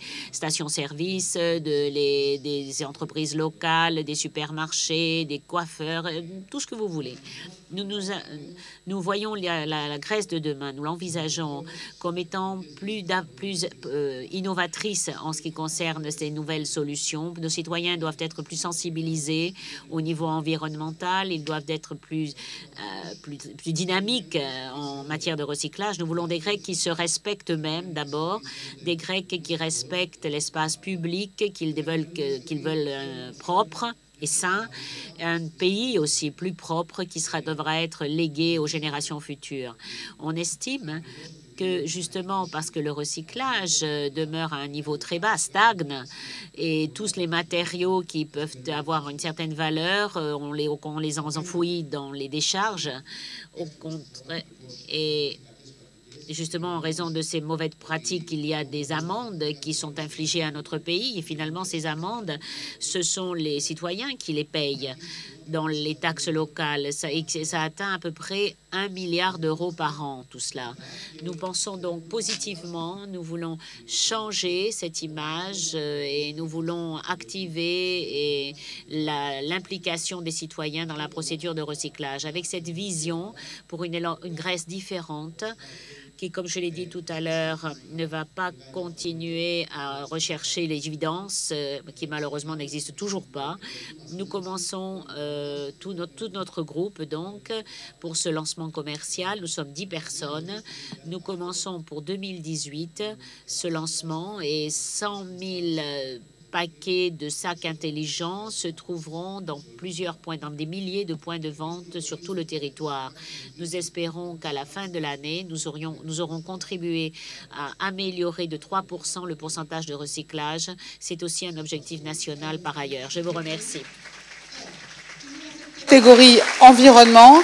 En face de Cyclefy, ce sera Ilios Metsos Project. C'est à vous pour le deuxième pitch de la catégorie. Καλημέρα σε όλους. Καλημέρα. Ακούγομαι. Bonjour à tous, à toutes. Vassil Skietos et je vais vous parler de la batterie Ilios Mestos. D'abord, je me présente. Je suis ingénieur civil. Je m'occupe de l'Internet Market depuis pas mal d'années avec M. Chronis Pamayotis, qui est ingénieur en mécanique, et Evgeny Chotrid, qui est journaliste. Nous avons encadré dernièrement la personne qui est en amont de cette idée, l'inventeur de cette batterie mécanique, qui est M. Johanna Liva. M. Livas est âgé peut-être, mais en âge, mais il est très frais d'esprit et très jeune d'esprit. Et malgré son âge avancé, il m'a cette idée m'a m'a poussé à la suivre justement. Elle ne doit pas rester dans, les tiroirs, euh, dans la poussière des tiroirs. Qu'est-ce qui est nouveau dans cette batterie mécanique malgré les progrès de la technologie? Lorsque nous parlons de euh, réserve d'énergie, euh, nous sommes au Moyen Âge. Les systèmes existants en ce qui concerne les réserves et l'entreposage d'énergie sont toxiques, nocifs pour l'environnement, chers, tous ces systèmes de très haut coût d'entretien et de maintenance. Et on n'a pas encore trouvé jusqu'à présent des systèmes qui pourraient stocker des quantités importantes d'énergie et qui pourraient être utilisés au niveau mondial comme nous voulons. Cette lacune donc de stockage, c'est notre programme qui vient la combler avec la première batterie mécanique qui existe au monde. Voyons à présent qu'est-ce que c'est que cette batterie, comment est-ce qu'elle fonctionne? C'est un projet qui porte sur une dizaine d'années et on peut dire qu'aujourd'hui, après dix ans de d'essais expérimentaux. Cette batterie existe, euh, elle fonctionne, est, elle est opérationnelle et elle mérite de prendre la place qu'elle devrait avoir dans le monde.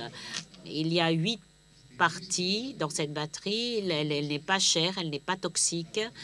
Elle n'est pas compliquée et au cours de son fonctionnement, il n'y a pas de gaz, il n'y a pas d'émission de gaz polluants pour l'atmosphère. On n'utilise pas de produits chimiques ou toxiques pendant sa durée de fonctionnement.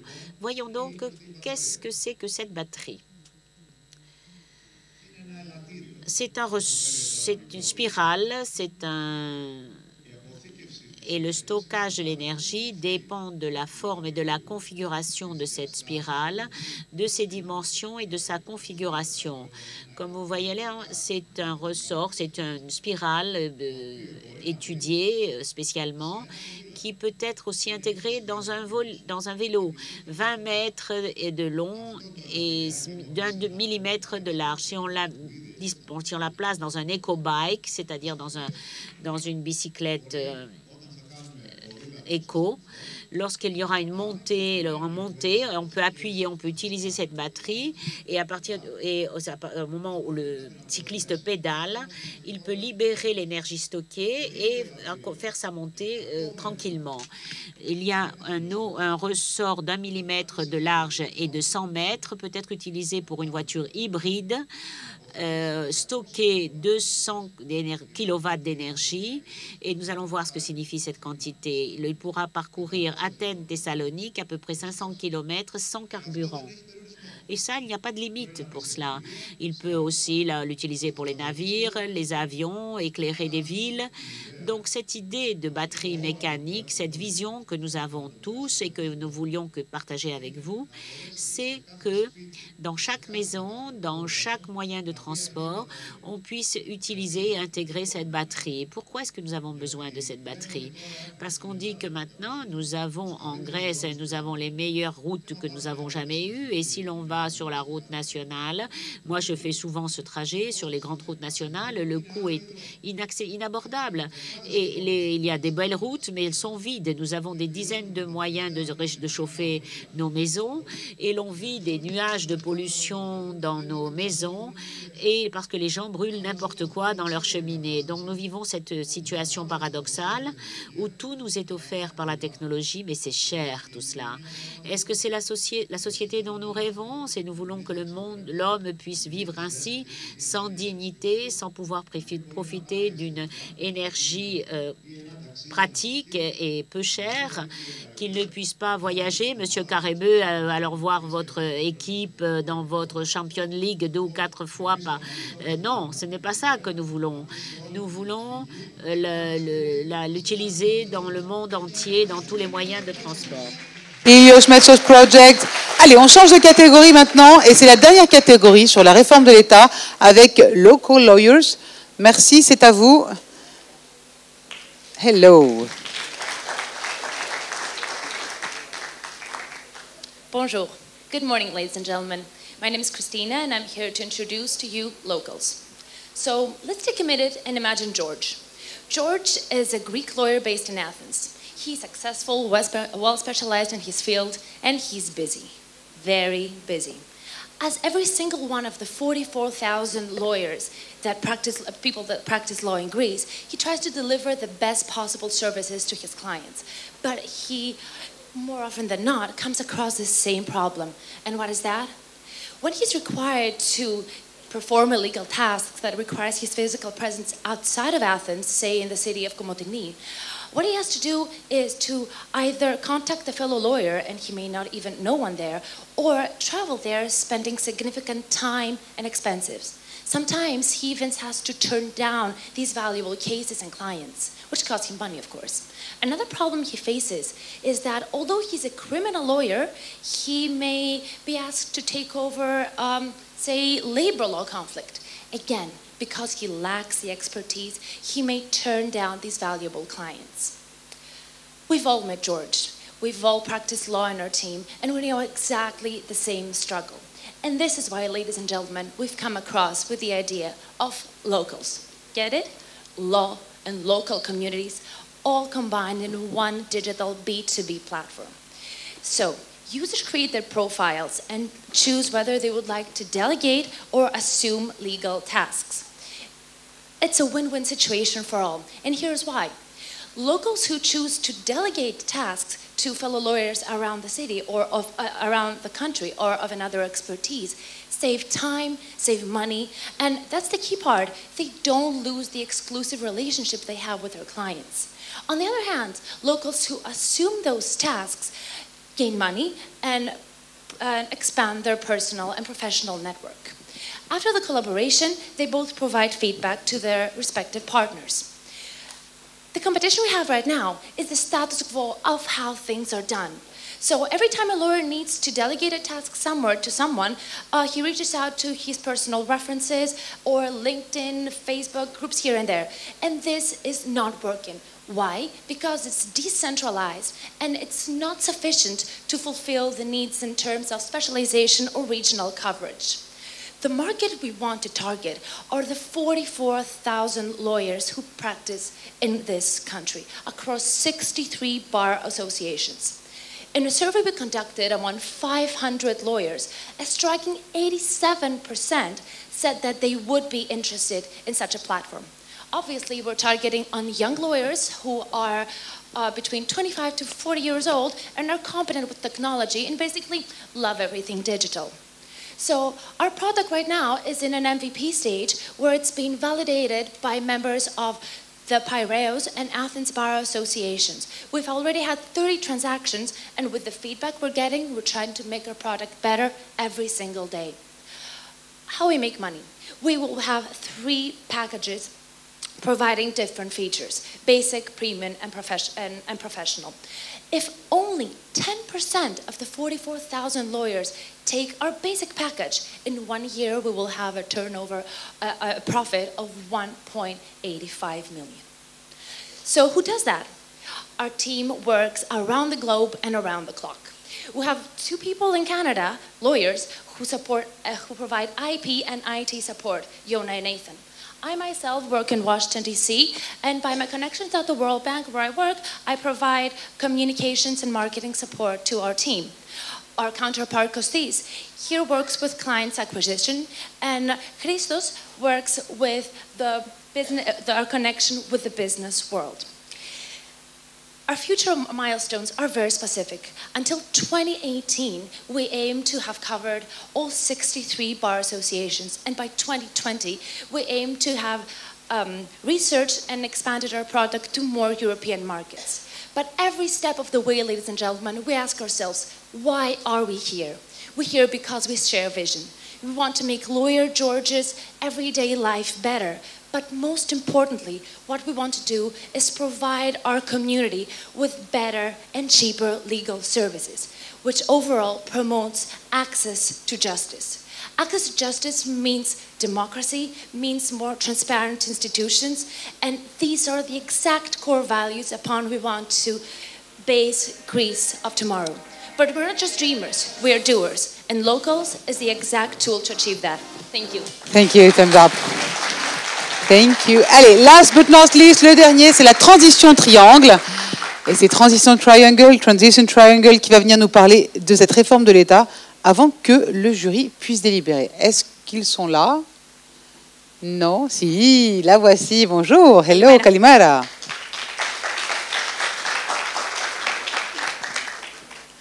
When was the last time you visited a public service? When was the last time that you witnessed this frustration, anxiety, and nonsense in the public state? Have you ever considered that the public officer sitting behind the counter experiences the same frustration every single day? That he's being deprived, he's trapped in a structure that deprives him from incentives, knowledge, know how, and tools to truly be a public servant. My name is Stefania Xidia, and I am here to talk to you about triangles to redesign public services. At this time of dead end dichotomies of left versus right, public versus private, young versus old, I invite you to consider a working hypothesis. Imagine a transition triangle in which a public, a private, and a civil society organization come together to solve a concrete social challenge.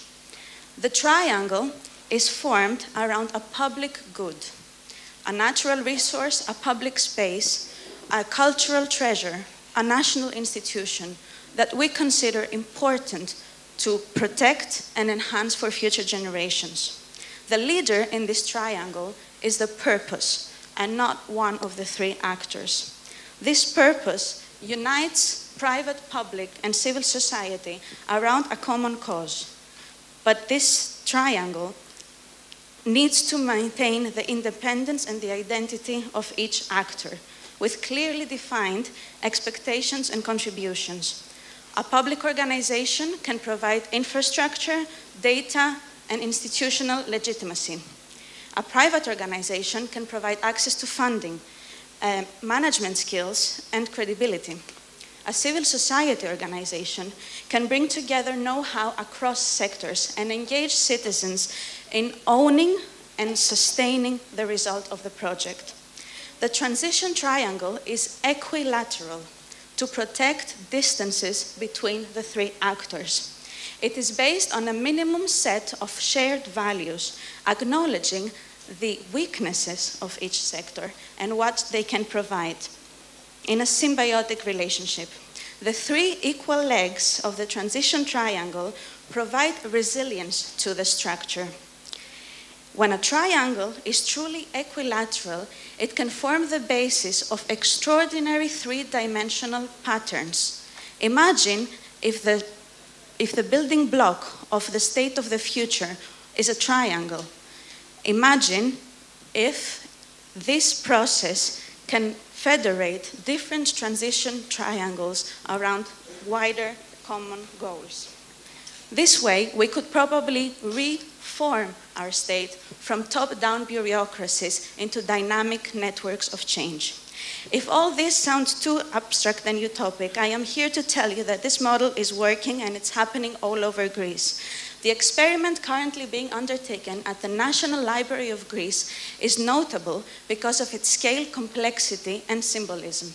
You may have heard of the historic move from the Athenian uh, trilogy to the Stavros Niarchos Foundation Cultural Center, but very few people know of the unprecedented or organizational change that is happening within the organization.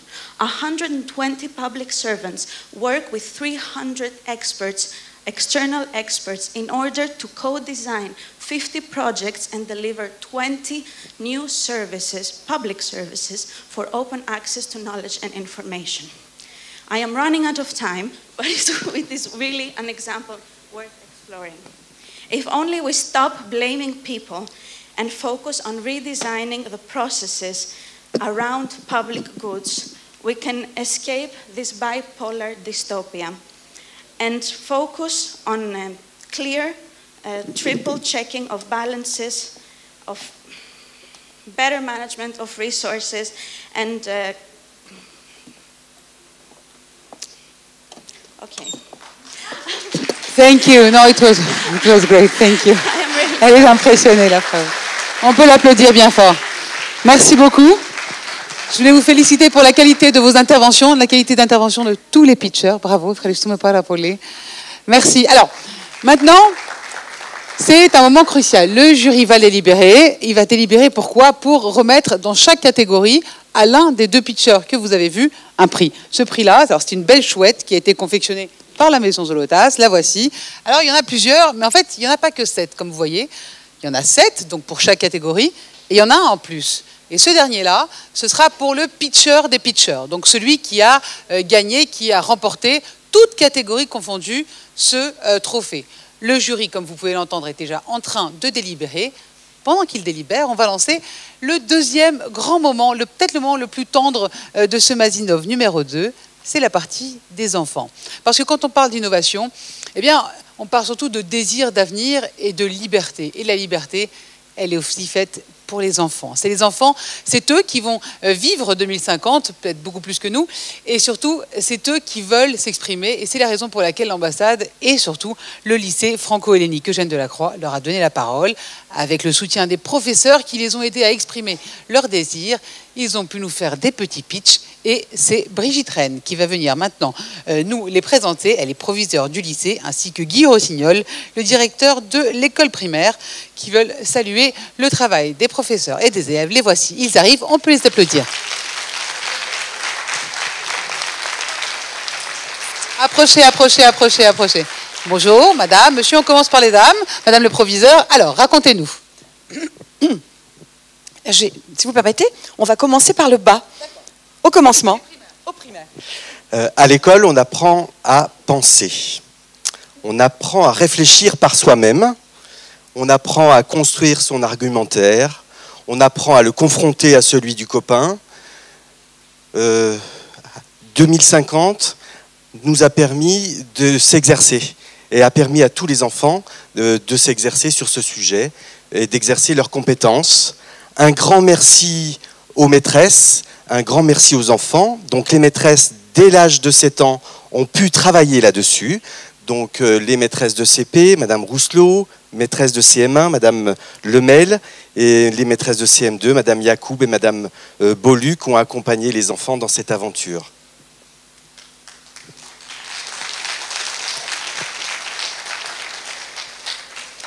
Alors, au collège, dans le prolongement du cycle 3, nous favorisons tous les projets qui permettent aux élèves d'acquérir le socle de connaissances et de compétences qui est exigé à la fin du collège. Ce projet Mazinov, auquel nous avons été associés, a été une très belle opportunité pour nos élèves de développer toutes leurs formes d'intelligence. Je voudrais donc remercier les professeurs qui les ont encouragés, euh, Mesdames Philippe euh, et Montec, Messieurs Lagos euh, et Pasquier, qui les ont aidés dans l'apprentissage du pitch et dans le montage des vidéos que vous verrez.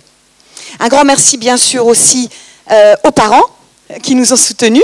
Un grand merci à l'équipe de l'ambassade et à l'équipe de l'IFG, notamment Madame Gay qui est venue plusieurs fois rencontrer les enfants pour les aider à, à se préparer, parce qu'il faut se préparer. C'est très difficile comme exercice. D'ailleurs, cher public, êtes-vous déjà monté sur une scène ou, comme ici, descendu dans l'arène Avez-vous ressenti ce trac, cette angoisse qui déjà quelques heures avant ou quelques minutes avant vous étreint? Oui, j'en suis sûre. Donc je vous remercie, et M. Rossignol s'associe à moi, pour vous remercier de faire un très bon accueil à nos braves et courageux élèves du lycée franco-hellénique, Eugène Delacroix. Merci. Merci beaucoup. madame. Alors, je vais vous laisser vous rasseoir.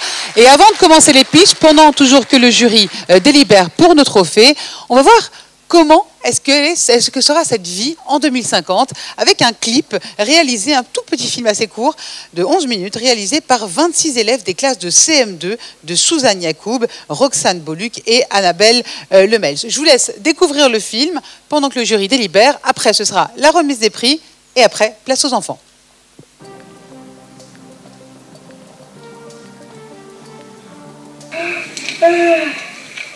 Page 2049.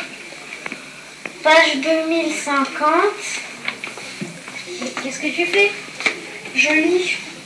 Bah, c'est pas fatigant? Bah oui, quand même. Bah, t'es à quelle page? Attends, la page... euh, Maintenant, je me suis perdue. C'était pas la page 2050 Attends. Ah, t'as raison, merci. Mais tiens, ça me donne une idée. Comment on va lire en 2050 Ah ouais, pas mal.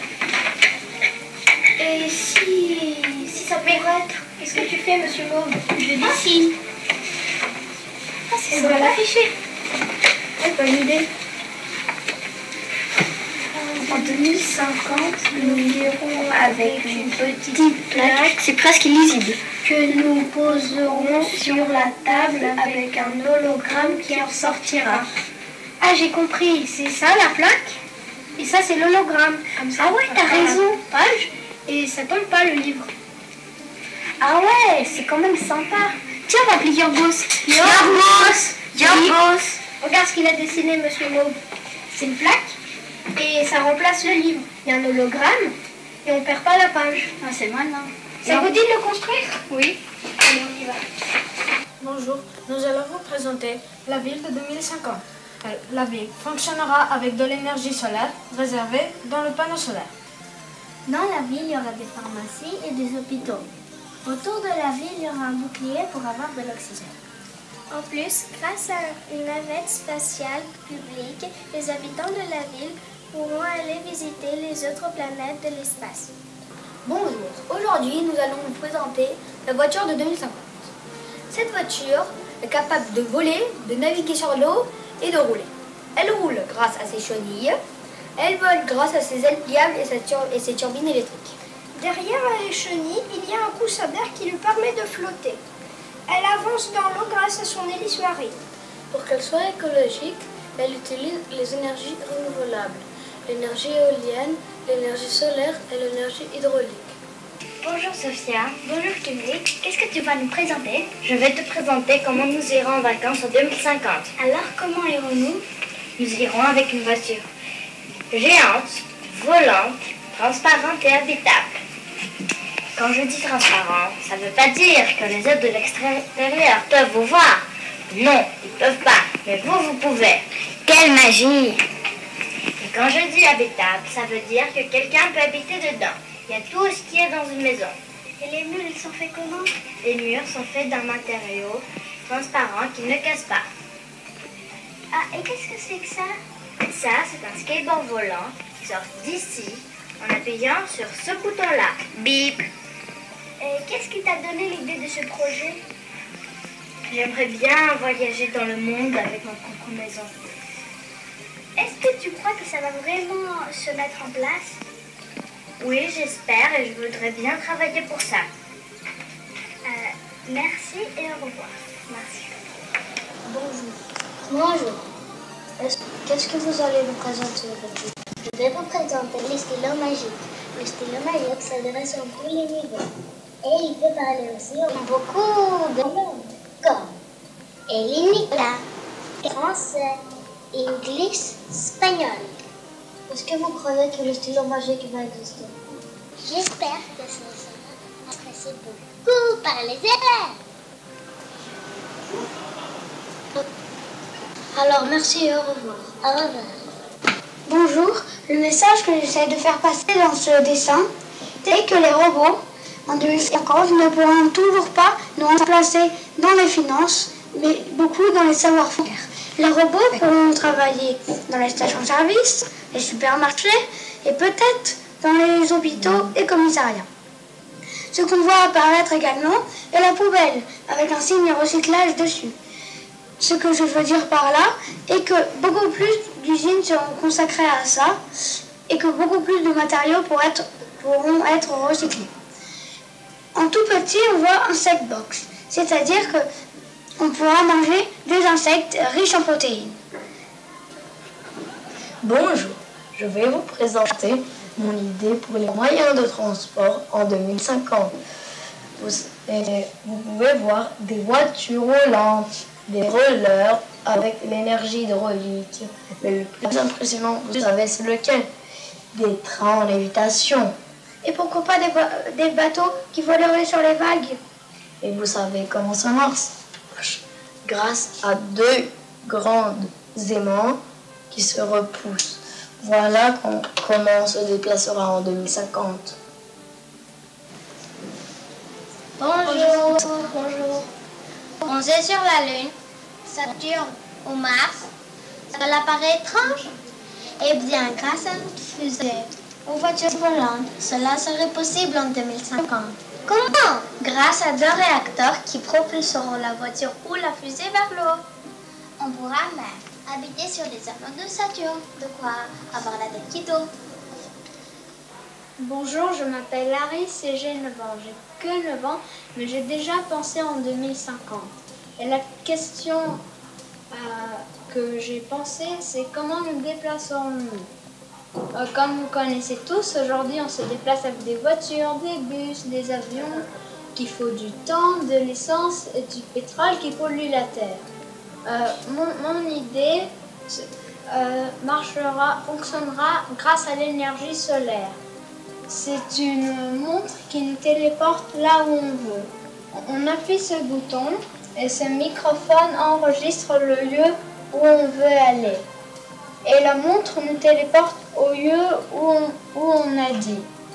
S'ils nous la volent, ils ne pourront pas la faire fonctionner car elle a une reconnaissance vocale. Mer- Merci de m'avoir écouté. À bientôt en 2050. Bonjour, je m'appelle Éléonore et aujourd'hui je vais vous présenter mon projet pour 2050. En 2050, tout sera sûrement plus moderne et plus électronique. Donc mon idée c'est de faire un tableau électronique, un tableau qui communiquera avec les élèves. On n'aura donc plus besoin de maître ou de maîtresse. Euh, il y aura des petits bonhommes qui vont s'afficher sur le tableau et ce seront eux les maîtres. Euh, il peut y en avoir 2, 3, 4, 5, 6, autant qu'on veut, euh, selon ce qu'a besoin, si c'est qu'ont besoin les élèves. Et le problème maintenant, c'est que souvent les maîtres ou les maîtresses n'arrivent pas à faire avancer tout le monde en même temps, où il y a des gens qui ont plus de mal. Et ça, ça fera avancer tout le monde. Et puisqu'il y aura plusieurs euh, mètres euh, pour, euh, pour faire avancer tout le monde en même temps. Il faudra juste l'allumer et ça marche avec l'énergie des éoliennes. Chaque enfant aura une tablette, puisqu'on écrira, je pense, plus sur des papiers. Chaque élève aura une tablette et il fera l'exercice sur sa tablette et il l'enverra au tableau qui corrigera. Merci de m'avoir écouté. Bonjour, je m'appelle Michel. Aujourd'hui, je vais présenter le projet de 1050. Le projet s'appelle La boîte qui organise le repas. Aujourd'hui, on prend beaucoup de temps et on gaspille beaucoup d'énergie pour faire de, de rep- de repas. Euh, il euh, s'agit d'une montre qui est connectée avec un supermarché spécial et le robot du chimie. Euh, par exemple, vous êtes au travail et vous voulez que le dîner soit prêt. Prêt. Vous dites à, à la montre du steak, des frites, une salade et un fruit s'il vous plaît. Il enregistre. Il envoie chez le supermarché spécial. Le supermarché spécial prend la- les aliments que, tu as, vous avez besoin, les envoie chez votre maison. Euh, euh, c'est déjà la recette et prépare le dîner.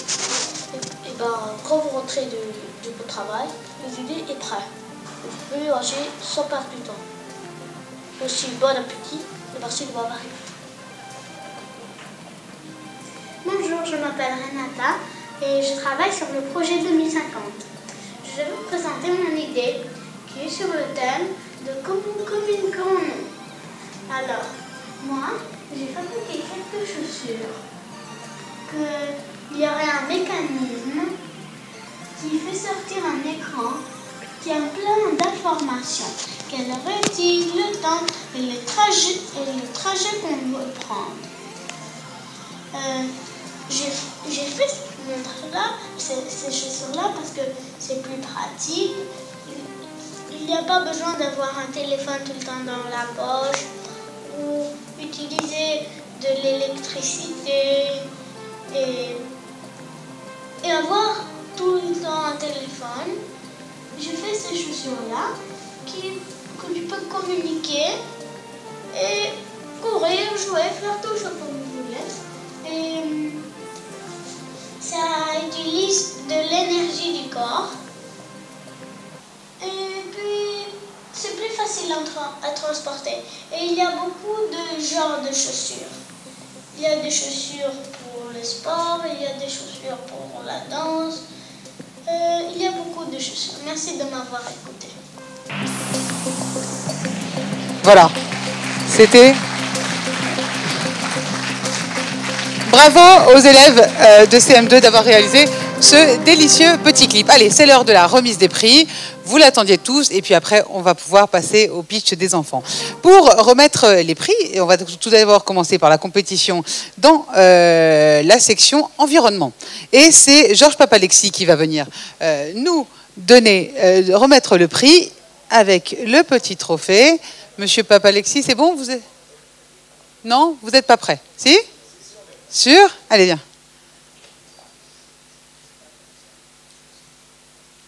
C'est l'environnement. Non, c'est l'environnement.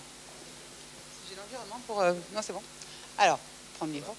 Déjà, tu- est-ce qu'on peut avoir deux petits mots sur le, sur le, trophée Non? C'est une jolie chouette. Elle est en quoi? Ça marche? Allô? Voilà, merci. Bonjour à tous. Euh, merci d'être venus aussi nombreux aujourd'hui pour euh, le forum Mazinov. Donc, euh, nous avons réalisé un, trophée euh, qui est le symbole de la, de la déesse Athéna, la chouette, sur un origami en plexiglas avec une base de bronze. Donc, nous sommes ravis et heureux d'être partenaires de ce forum innovateur qui, je pense, va créer des liens, des liens entre la France et la Grèce euh, pour euh, innover ensemble sur euh, plusieurs euh, projets très très intéressants dont nous avons vu aujourd'hui. Alors, l'environnement. Qui remporte le prix de l'environnement des deux pitchers que nous avions? Alors pour l'environnement, euh, c'est Cyclophy qui remporte. euh, Cyclefy On peut l'applaudir. Il est là. Il descend, il arrive.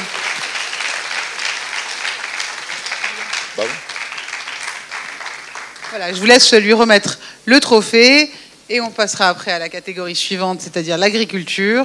Et pour l'agriculture, ce sera Adrien Aumont qui le remettra. Voilà, allez, une photo tous les deux. Voilà, félicitations.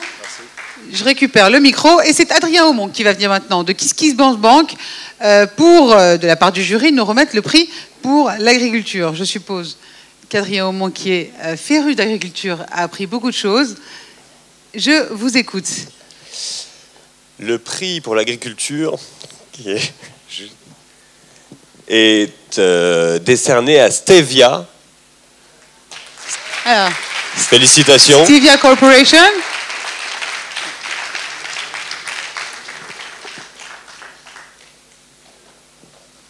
Bravo.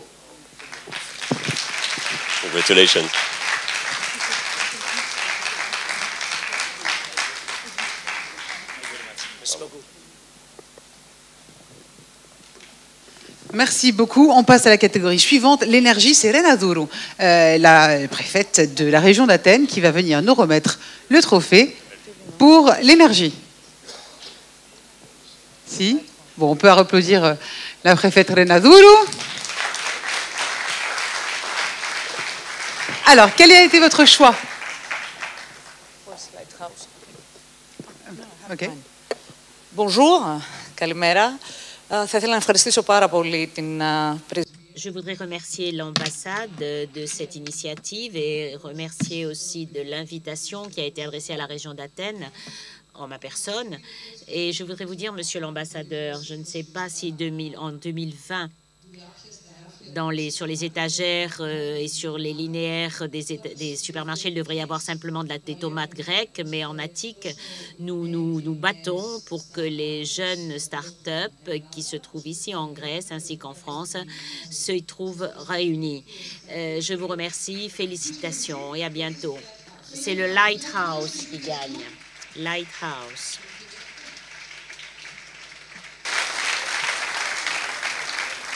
Il est parti Ils ne sont pas là Ils ne sont pas là. Bon, c'est pas grave. Lighthouse, Marlon Figane. Olivier, Lighthouse? Non Ils sont partis Bon, ben, je vous laisse le, euh, garder le trophée. Et puis vraiment innovatif, hein, vraiment innovatif. Ils sont partis déjà. Gardez-le, gardez la chouette et vous leur donnez plus tard. Ah voilà, ils sont là. Sikariteria. Félicitations.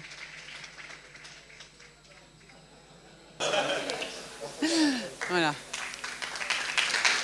C'est Allez, on passe à la catégorie suivante pour la finance. C'est Dimitri Siasiarides de Yumi Pop qui va nous euh, dire qui a gagné le trophée pour la finance. Vous avez récupéré le micro de, de la préfète? Bonjour. Bonjour. Tout d'abord, félicitations aux petits jeunes aussi, aux deux qui sont passés. En tout cas, le prix est décerné à e-business. E-business, ok. Mais bravo. À e-business. Au tout petit. Ils étaient, ouais, ils nous étaient a impressionnés. Très hein, bons. Les deux la, se valent, bien évidemment. très bonne aussi. iBusiness. E-business. Isteki, Istedo. Oui, le voilà. Voilà, félicitations. Bravo. bravo. Allez, euh, pour euh, la réforme de l'État, Alex Papachelas, directeur du journal Cassimerini, qui va remettre euh, le prix. C'était les deux derniers que vous avez entendus, c'était en anglais. Alors. Καλή για χαρά. Ποιον διαλέξατε λοιπόν? Ε, locals. Λόκας. Qui avez-vous choisi Loc. Local. Est-ce que vous avez, pourquoi vous avez choisi local? Continuez à travailler. On saura pourquoi plus tard. Alors maintenant, euh, pour qu'est-ce qui nous reste Eh bien, la santé. Christian Carambeu, merci de venir nous remettre le prix pour la, la santé. Entre, euh, on avait Skep et Hands Up qui étaient en compétition. Ton microphone, Alexis? On vous écoute, Christian. Bonjour. Bonjour à tous. Évidemment, la santé, euh, moi en tant que sportif de haut niveau, la santé est très importante. Et puis, bien évidemment, on, innove- on innove à chaque fois. euh, pour mieux assurer justement l'avenir de, de nos joueurs, si je peux m'exprimer ainsi. Donc en tout cas, nous, on a bien étudié les cas, les deux précisément, et c'est SCEP qu'on a retenu. Skep. Bravo. Félicitations. Voilà. Sachant que la santé, c'est toujours bien, c'est c'est le bien-être euh, complet du mental, social et physique.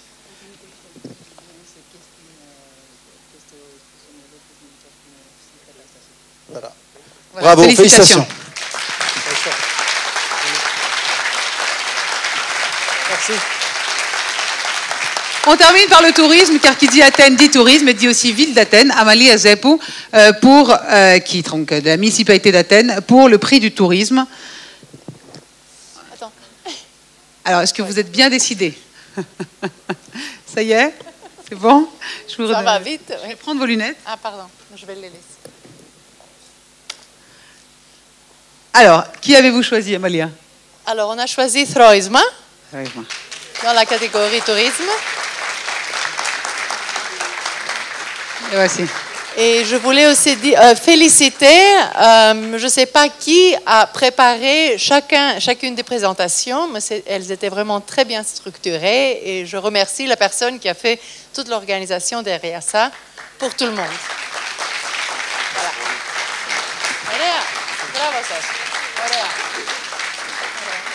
Félicitations. félici- Amalia, restez avec moi. Puisqu'on est un peu chez vous ici, Technopolis, c'est un peu la mairie d'Athènes, restez avec moi. Qui a reçu le trophée des trophées? Ah, vous n'avez pas délibéré? Je ne sais pas encore, mais je- on, on est tout. On est, donnez-nous. Il y a des dizaines d'enfants derrière qui attendent. Alors. je vous donne encore quelques secondes pour oui, parler quel- des trophées euh, et, euh, et, et avoir, et savoir qui a été le pitcher des pitchers. Est-ce qu'on. Non, c'est bon? Alors? Moi, je garde le micro. Bon, très bien. Que- euh, combien de temps est-ce qu'il vous faut? Olivier, venez voir. Olivier Dauvergne, si, si. Vous avez tout organisé, vous avez vu la qualité des pitchs. Je suppose que voilà, on peut vous féliciter. Merci, jury. Voilà. Ça fait moins touriste. Merci. Vous êtes content de l'édition numéro 2 de Mazinov? Euh, C'est plutôt au public de le, de le dire. Non, mais vous, en tant qu'organisateur Absolument. Oui Absolument, oui. C'est agréable de voir une salle aussi pleine, des prestations de qualité, un jury euh, excellent. Donc voilà. Merci à vous en tout cas. En tout cas, tous très bien préparés, comme l'a dit Amalia. Bravo, félicitations, Olivier. Voilà, c'était vos cinq dernières minutes. Qui a gagné le, pitch des pitchs? Alors Impossible de se décider, c'est ça, c'est bon? Qui parle? Léna, Zulu. Allez, la préfète d'Athènes, de la région d'Attique. On peut l'applaudir.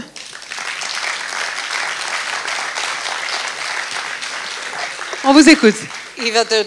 Vous avez vu que le jury aussi avait une tâche difficile, extrêmement difficile. Euh, Les, les critères étaient tous, tous- tout aussi importants. Donc je vous annonce qu'après beaucoup de réflexion et peut-être d'angoisse, parce que nous avons peut-être lésé un de ceux qui nous a fait ces présentations, ou de celles qui avaient fait ces présentations, le pitch des pitchs vient à la présentation, revient à la présentation du Scape.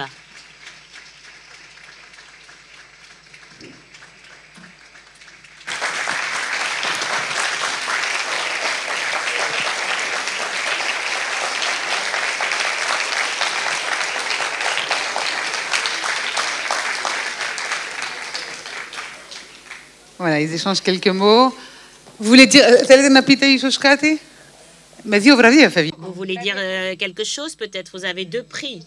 Nous vous remercions infiniment. C'est important pour nous que l'on puisse comprendre euh, et que tout un chacun comprenne que d'abord ce que nous faisons est important. Et je voudrais que vous compreniez aussi que, que nous le fassions, que nous le fassions correctement. Chaque jour, nous entrons dans des écoles. Nous sommes quatre personnes qui font de ce, genre de travail et de et nous des enfants au début sont un peu euh, ils ont peur, ils ont une attitude assez négative et de fuite et, quelque, et le plus souvent ils ne nous laissent plus quitter la salle. La classe, lundi je suis allée à Coropi dans une classe, il y a eu des, enfants qui sont venus qui avaient une heure de libre et ils nous ont demandé de rester avec eux et ils ont sacrifié leur, leur euh, récréation pour rester avec nous. Ces enfants c'est une erreur de dire que les enfants n'ont pas de force. Euh, on est injuste envers eux. C'est eux qui vont tirer l'oreille de leurs parents, qui vont tirer l'oreille. Le- L'orateur s'inquiète de savoir comment cela va être traduit en français, mais c'est possible aussi. On tire les oreilles aussi en français. Donc, c'est ceux, c'est ces enfants qui vont nous aider à changer la situation. Une situation qui est très proche de nous. Et il y a certainement quelqu'un qui a des problèmes, euh, qui a un handicap, qui vit dans notre immeuble, dans notre rue. Peut-être qu'il ne sort pas, que vous ne le voyez pas, mais il existe. Et nous devons donner à cette personne un espace de vie. Non pas parce que nous avons pitié de lui ou, ou quelque chose comme ça, non, parce que nous pensons qu'il pourra aussi améliorer notre propre vie. Il est important que nous vivions dans une société où nous pouvons avoir à nos côtés euh, des personnes qui se soucient de nous.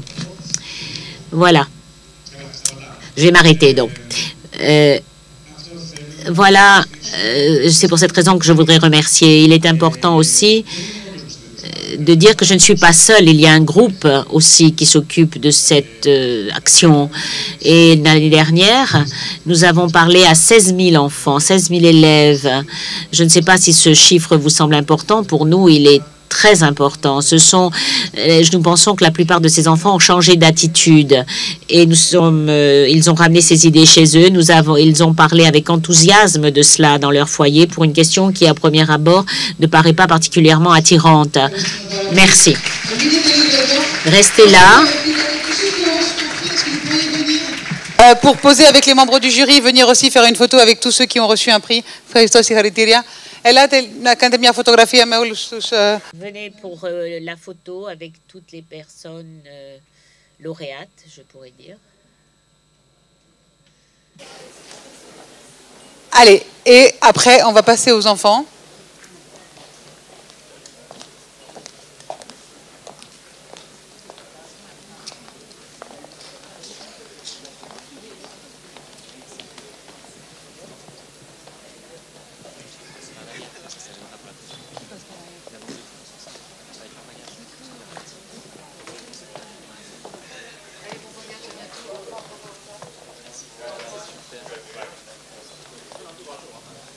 C'est bon, assez rapidement. Voilà, Ligo Grigora, je paracalo. Allez, allez, allez, allez, voilà, bravo. Allez, c'est bon, vous avez pris les photos?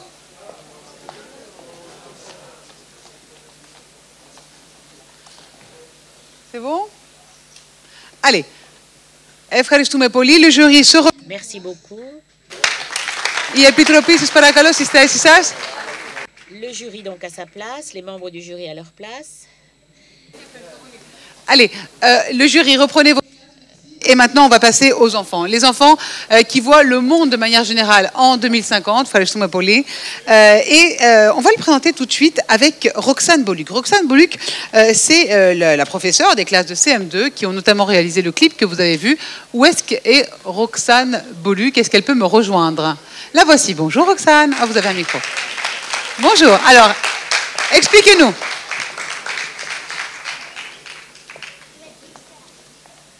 Vous connaissez tous l'expression faire dodo. D'ailleurs, vous avez bien dormi? Bon, oui. Vous êtes-vous déjà interrogé sur la signification de ces quatre lettres, dodo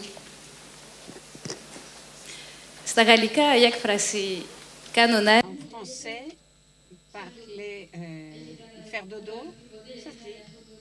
comme ça. Mais quelle est la signification de ces quatre lettres? Je vais vous en parler.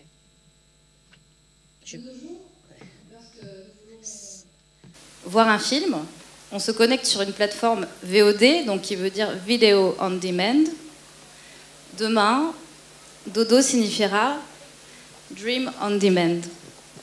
Comme vous l'avez compris, on pourra programmer nos rêves avant de dormir. Et le dernier O, me direz-vous Eh bien, c'est très simple je prendrai euh, mon petit boîtier, je le poserai sur ma table de chevet, je programme mon rêve et j'appuierai sur on. Voilà. Comme vous avez compris, même nos rêves pourront être programmés dans l'avenir. Et je vous laisse rêver avec les élèves de la cinquième classe du primaire. Merci Suzanne, merci beaucoup. Allez, c'est parti. Les enfants, c'est à vous. Nikita Rossis et Marius chérie.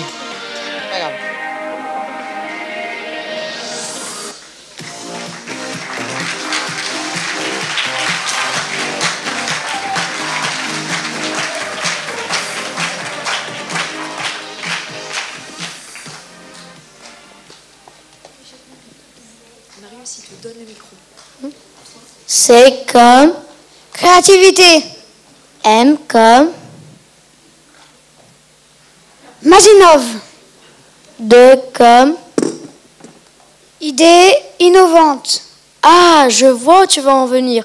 Notre classe, les CM2A, font le projet Mazinov. J'ai quelques idées moi aussi. Des voitures volantes, des rollers avec l'énergie hydraulique. Mais le plus impressionnant, vous savez, c'est lequel? Les trains en lévitation. Mais pourquoi pas aussi des bateaux en lévitation? Voilà comment on se déplacera en 2050. Mais ça existe déjà, non? Au Japon, je crois. Personnellement, je pense que des robots, ça serait beaucoup mieux. Les robots pourront nous remplacer dans le savoir-faire, mais toujours pas dans les finances. Les robots pourront travailler dans les supermarchés, les stations-service et peut-être même dans les hôpitaux et commissariats. Voilà comment nous travaillerons en 2050. Allez, viens, monte. Grâce à ma machine euh, à remonter le temps, on va aller voir la vie en 2050. Félicitations.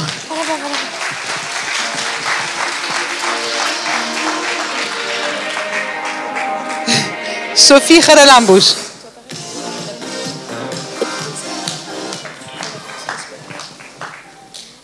Vous êtes là, je vous cherchais. Bonjour. En tant qu'élève, j'ai constaté qu'à cause de la lumière, on ne voyait pas bien en classe ce qui était écrit au tableau à la craie. J'ai donc imaginé des feux phosphorescents. Mes feux de phosphorescents s'appelleront luminostyles et serviront d'une part aux élèves de bien voir ce qui est écrit au tableau et d'autre part d'économiser de l'énergie puisque les lumières seront éteintes étant donné que mes feux seront lumineux. Ingénieux, non? Merci de votre attention. Merci. Vanessa Carambi. Arachnophobe? PH ou F? D'accord. J'ai constaté que toutes les personnes faisaient des erreurs en écrivant, donc j'ai imaginé un stylo autocorrecteur. Et sur un de ses côtés, il y aura un écran qui affichera notre, la bonne orthographe et l'ortho- l'orthographe redeviendra un plaisir. Merci de m'avoir écouté. Merci Vanessa. Mardita Tsongas. Mardita?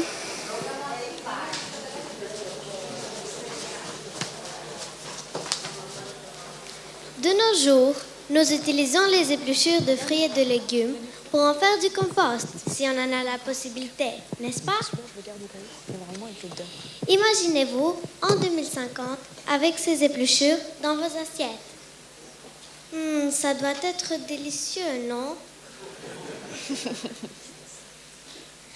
Ma machine les transformera en aliments. Elle aura donc une double fonction, celle de recycler, mais également celle de fabriquer des aliments. Nous pourrions alors manger des pop insectes. Vous en voulez? Tant pis. Merci. Alexandre Tourman. Vous ne croyez pas que ça sent la fumée? Et regardez dehors au loin cette couleur grisâtre dans le ciel. Fini la rigolade, passons aux choses sérieuses. En 2050, mon usine sera située au bord de la mer et aura trois fonctions. La première serait grâce à un tuyau d'aspirer le pétrole de la mer pour la rendre propre et limpide. Deuxièmement, grâce à deux énormes cheminées, l'une inspirerait la pollution et l'autre la rejetterait en oxygène. De quoi faire une pierre trois coups, enfin quatre, avec la filtration. Le ciel pourra donc mieux nous observer. Merci. Laetitia Malomitis. Tu dois intervenir. Tu dois avoir un autre micro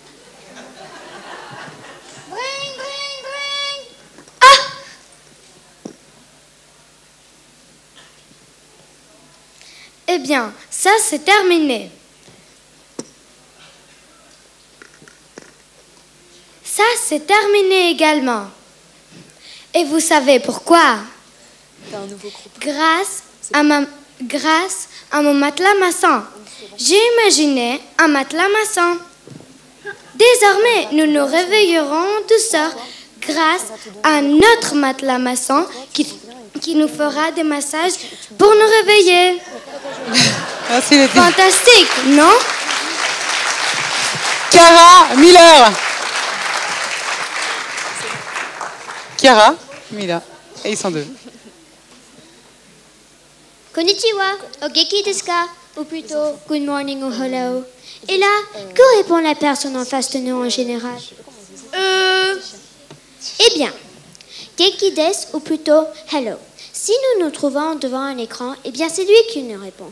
Enfin, avec qui on est en train de chatter avec grâce à une application.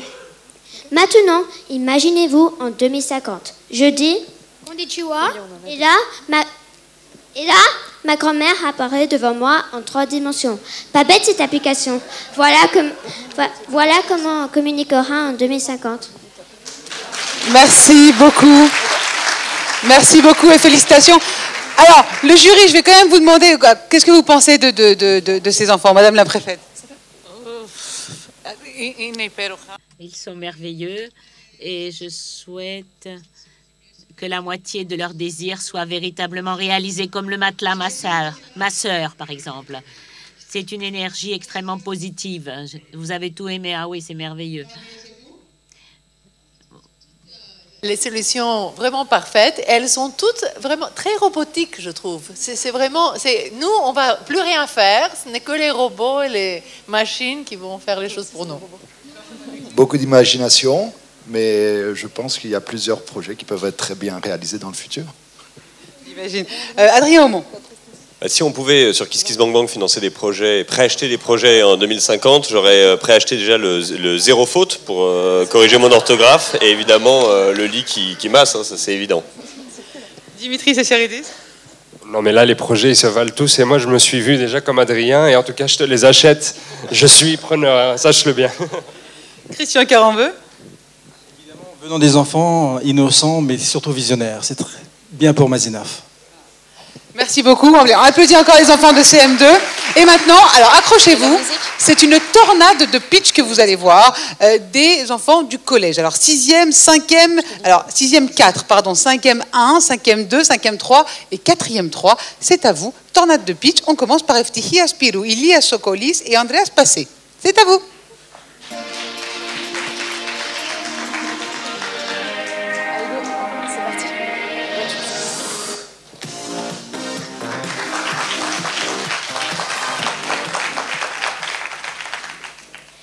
Que vous avez mal au ventre et que vous décidez de rendre visite à un médecin célèbre.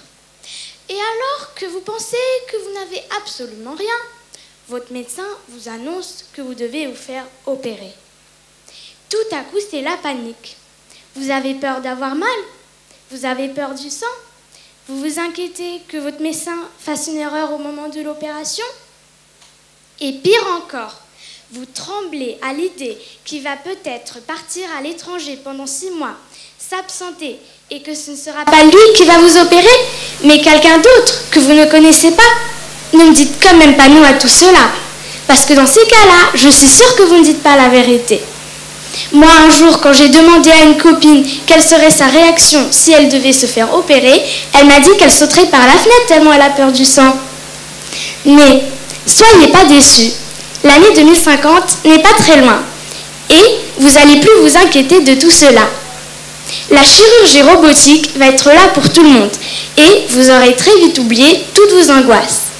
Et comment ferons-nous cela?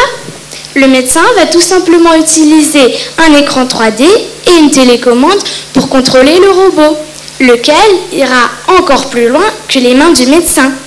Vous serez donc opéré sans douleur ni sang, avec précision, sécurité et d'excellents résultats, même si votre médecin se trouve à l'autre bout du monde. Ainsi, on ne va plus vous demander et vous, par quel médecin vous allez vous faire opérer, mais par quel robot vous allez vous faire opérer Et où va se trouver votre médecin au moment de l'opération? Merci, merci Eftihia. Allez. Quand j'avais 9 ans, Όταν ήμουν 9 χρονών, έχω κατεβάσει κα- στο, στο τάμπλετ του αδελφού μου στο, από το ίντερνετ μία, ε, μία εφαρμογή και γιατί φοβόμουν να έχω ιό ε, στο τάμπλετ μου και ε, να, τι έγινε, το τάμπλετ του αδελφού μου έπαθε αυτό το ιό που εγώ φοβόμουν. Ε, μετά, με dessus. Après deux jours, on est allé nettoyer la tablette et c'était tout normal encore. Je m'intéresse beaucoup à ce thème les deux dernières années, virus, cybercrime et tout ça, et j'ai constaté qu'il y a beaucoup dans le monde. Là, les derniers mois, il y a eu un virus qui s'appelle WannaCry. Le virus, il te vole tes fichiers et il te demande de l'argent pour te le donner. Ça fait peur, ça. Moi, j'ai peur. Vous savez qu'est-ce que c'est le grand problème? Qu'on utilise les ordinateurs pour faire nos, nos emplois et nous donnons de l'argent par là. Alors les hackers, comme on dit, ont plus de chances de nous voler dans nos, dans nos ordinateurs que dans nos maisons, puisqu'on donne de l'argent par là. La seule solution, je trouve, c'est de développer des programmes antivirus avec une nouvelle langue de programmation que seules les compagnies de systèmes d'exploitation connaisseront comme euh, Microsoft, Tablet, tout ça. Euh, après, les hackers ne pourront pas passer par l'antivirus. Conclusion, si on fait ça, le vol s'arrêtera par l'ordinateur. Bravo. Andreas? Les professeurs se plaignent souvent de l'agitation en classe. Et dans notre école, nous nous déplaçons quotidiennement. Et si cela pouvait servir à quelque chose? Notre, notre professeur de sciences physiques nous a parlé de l'énergie cinétique. Nous pourrions donc avoir un sol intelligent connecté à nos semelles de chaussures. Grâce à l'énergie cinétique, le sol sera euh, muni de microcapteurs qui, quand on marchera, euh, enverront l'électricité euh, dans l'école. Bravo, merci, c'était très bien. C'était très très bien. Allez, on passe à Evelina Khanika, Eli Argiraki et Daphné Papayoano. Jingle.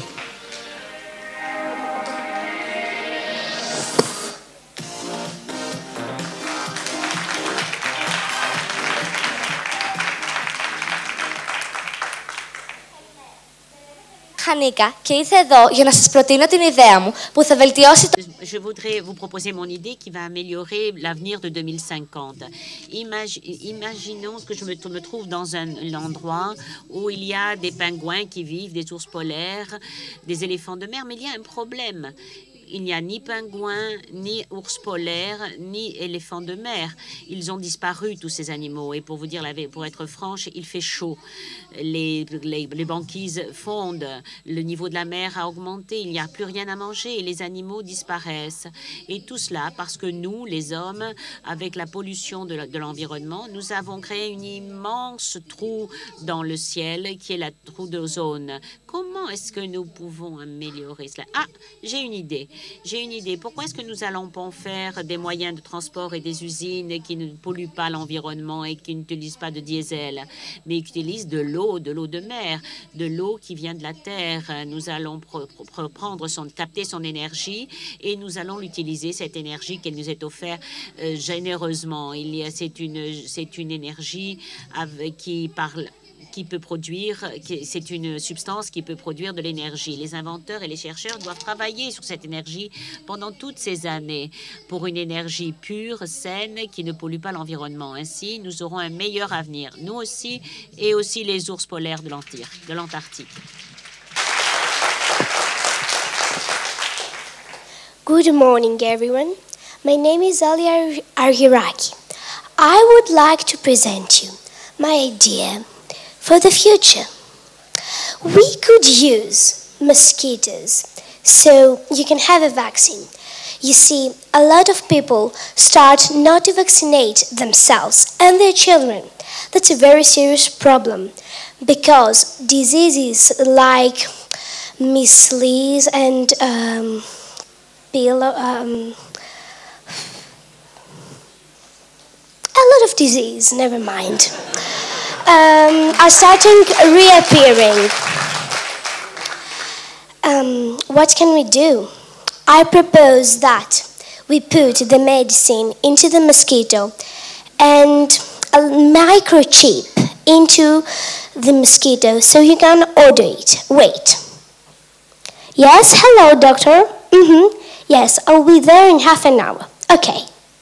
The instant that you will pass the door, the doctor will be ready and will order the mosquito to come and bite you.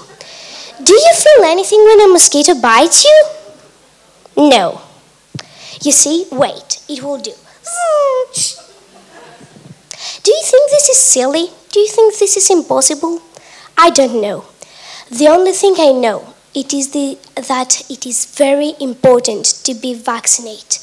And I hope my idea will help the, the world to move on in the future. Thank you. Merci. Daphnis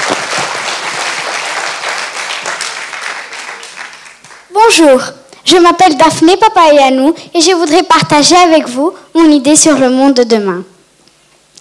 La semaine dernière, je suis allée à l'hôpital faire une prise de sang et j'ai constaté que beaucoup d'enfants, même adultes, redoutaient lors de se faire piquer. J'ai aussi vu autre chose. Il y avait trop d'attentes et les gens s'impatientaient au fur et à mesure d'attendre. C'est l'an dernier, il y a des gens qui ne, font plus de prise de sang de peur d'attendre et, d'avoir très mal. Comment faire pour soulager les gens de l'attente et de la douleur?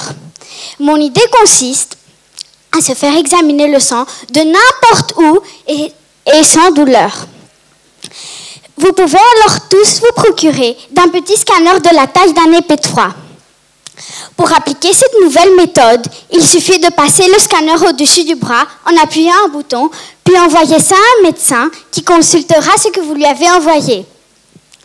Ensuite, vous recevrez le résultat par courrier électronique sur votre portable. C'est si simple.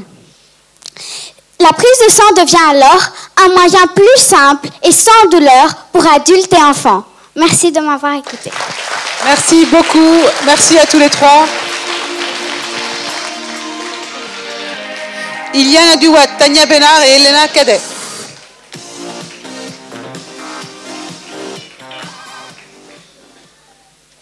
Quand on est un humain, quand on est comme moi, comme vous, comme tout le monde, on se dit que les êtres vivants, les animaux, ce sont des êtres vivants. Alors ils vivent comme nous. Or, tu as faux. Il n'y a pas tous les animaux qui vivent comme nous. Moi, aujourd'hui, j'ai voulu me baser sur les ours polaires, plus précisément les ours polaires et leurs glaciers qui fondent. Je me suis intéressée à ce sujet car j'aime les animaux et, les ours polaires risquent de perdre leur territoire naturel et de ne pas pouvoir vivre heureux. Mais comment faire pour que mais comment faire pour les sauver?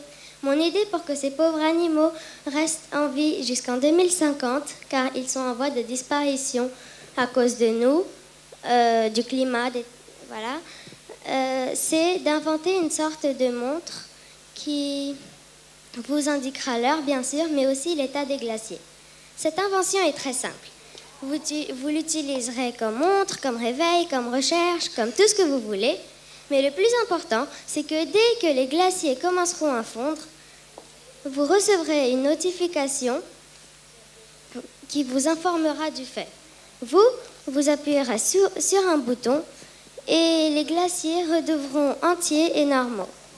Vous pourriez vivre vo- votre vie de tous les jours et être heureux, mais en même temps, vous ferez un grand geste et vous pourriez rendre ces animaux eux aussi heureux et que eux aussi, ils pourront vivre leur vie. Merci.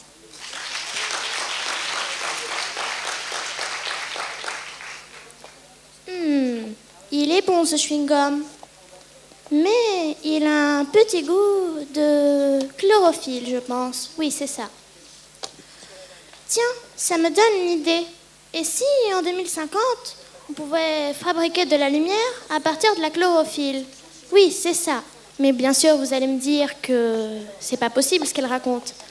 Mais puisqu'on sait que la chlorophylle capte la lumière pour nourrir la plante, alors on pourrait mettre de la chlorophylle dans les panneaux solaires, comme ça. La chlorophylle captera plus facilement la lumière et nous aurons de l'électricité. Merci.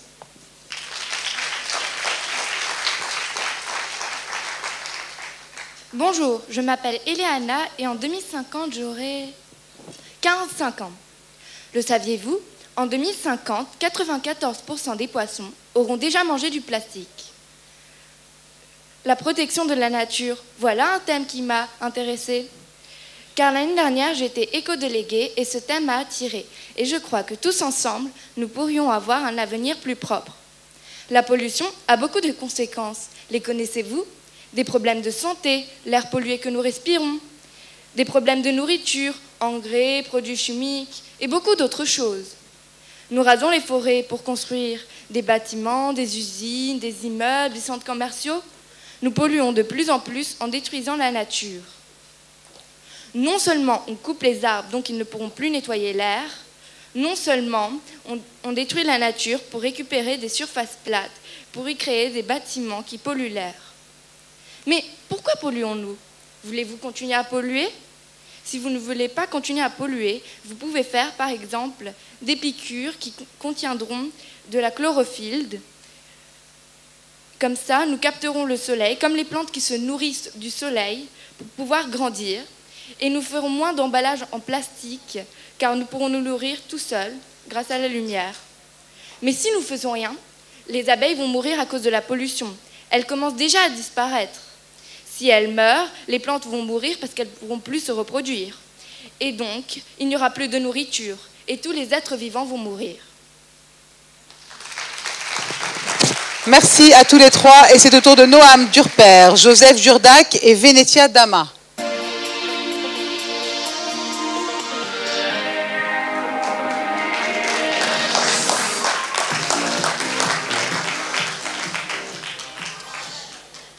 Avant de venir en Grèce, je vivais dans un pays qui s'appelle le Bhoutan, le Népal et l'Inde. Là-bas, la médecine était très... C'était difficile d'y arriver, à en avoir. Alors, alors euh, moi, je m'en souviens qu'un jour, je ne me sentais pas bien. Je n'y fis pas attention. Le prochain jour, j'ai une grosse grippe. Alors, je suis allée voir mon docteur avec beaucoup de difficultés et il m'expliqua, quand euh, je lui expliqua tout, il me donna une liste de médicaments et il m'expliqua qu'il faut écouter son corps, ce qui veut dire que le jour avant où je ne me sentais pas bien, je devais commencer maintenant à me soigner. En fait, c'est comment faire pour trouver un moyen plus facile de s'occuper, euh, de écouter son corps. Eh bien, en fait, moi, ma machine s'appelle le PSP. Le PSP est, une, en fait le portique scanner parlant qui va en fait vous scanner le corps. Le portique, vous devrez le mettre dans un endroit où vous partez tous les jours. Moi, par exemple, j'ai pensé les toilettes. Alors, par exemple, vous rentrez, vous avez mal au ventre et il va vous dire, ah, vous avez une indigestion euh, de ceci ou sinon vous avez mangé trop de sucre hier soir, vous devez faire du sport et boire beaucoup d'eau.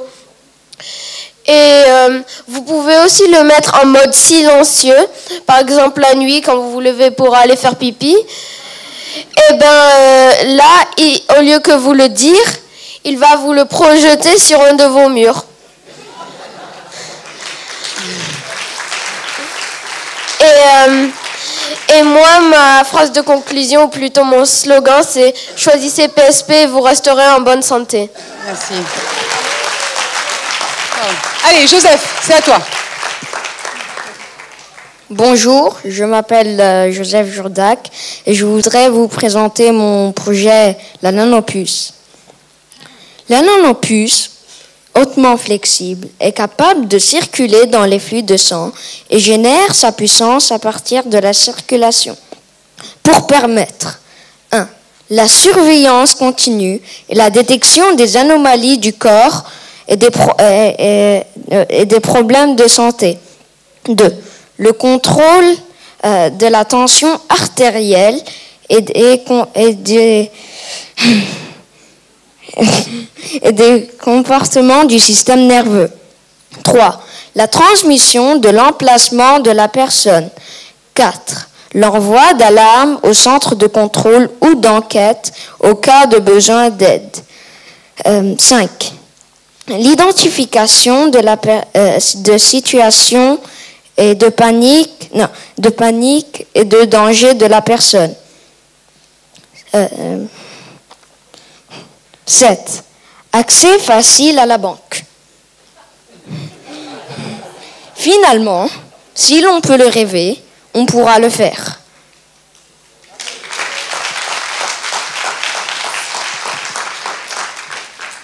Bonjour, je m'appelle Venetia Adama et je veux vous présenter mon idée pour 2050. Mon idée est de fabriquer une machine qui s'appelle Trimanche. Trimanche est une machine qu'on peut trouver partout, que le, gouvernement aurait placée, comme les ATM. Ce serait une machine qui peut scanner la main d'une personne et peut savoir si c'est une personne pauvre ou une autre. Si c'est une personne pauvre, elle donnerait une barre de nutriments qui aurait toutes les choses euh, pour le corps euh, d'une dose d'une journée. Par exemple, des vitamines, des minéraux, et etc. Chaque personne pourrait avoir une barre par jour. En 2050, je voudrais avoir un monde mieux et pas avoir des personnes affamées. Merci de m'écouter. Merci à tous les trois. Allez, Dominique Angelopoulos et Livia Campanellis. C'est à vous.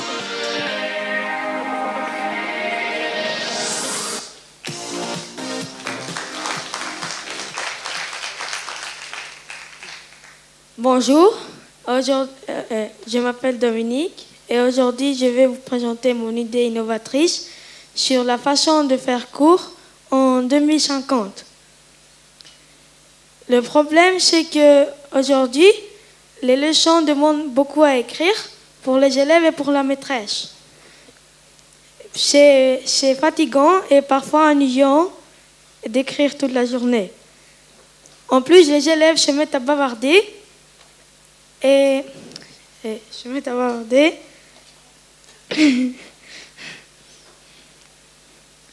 se mettent à bavarder et ne suivent pas le cours. Que faut-il faire? Hmm. Ah Euh, J'ai une euh, euh, Allez, on va le lire ensemble. Vas-y.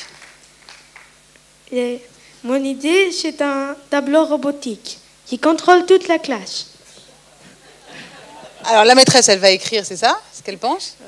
Et la maîtresse écrira avec sa pensée, euh, grâce à, à un appareil, un, appareil qui, euh, qui ressemble à des écouteurs. Les élèves, comment ils vont écrire? Les élèves écriront sur le tableau avec un clavier holographique et feront leur- leurs exercices sur une tablette. Ok. Il y aura un agenda écouteur aussi? Oui. C'est quoi? Et il, dic- et il sera porté par les, par les élèves et il dictera les devoirs et les informations envoyées du tableau. Comment ils vont communiquer dans la classe? La classe pourra communiquer avec le monde entier et avec une classe du monde entier. Il y aura aussi des mini-robots? Oui, qui, feront, qui seront responsables pour la discipline de la classe. Waouh Et regarderont qui bavarde. Alors, en conclusion, qu'est-ce qu'on a? C'est un tableau qui sera pratique, non?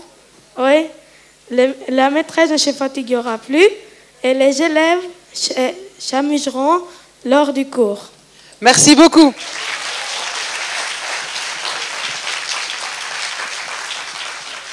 Lydia, Hello, everybody.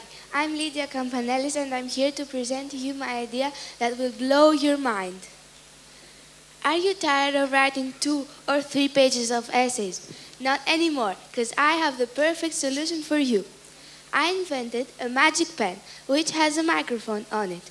From now on, all you have to do is dictate your homework or essay by speaking into the microphone, and it will write it down for you with your own handwriting and with no spelling mistakes. Before using the, the magic pen, please take five minutes in order to write a small text so that the gadget can save your unique handwriting pattern. The results would be so perfect that, that your teacher would never know. You don't have to say anything now. You can thank me later.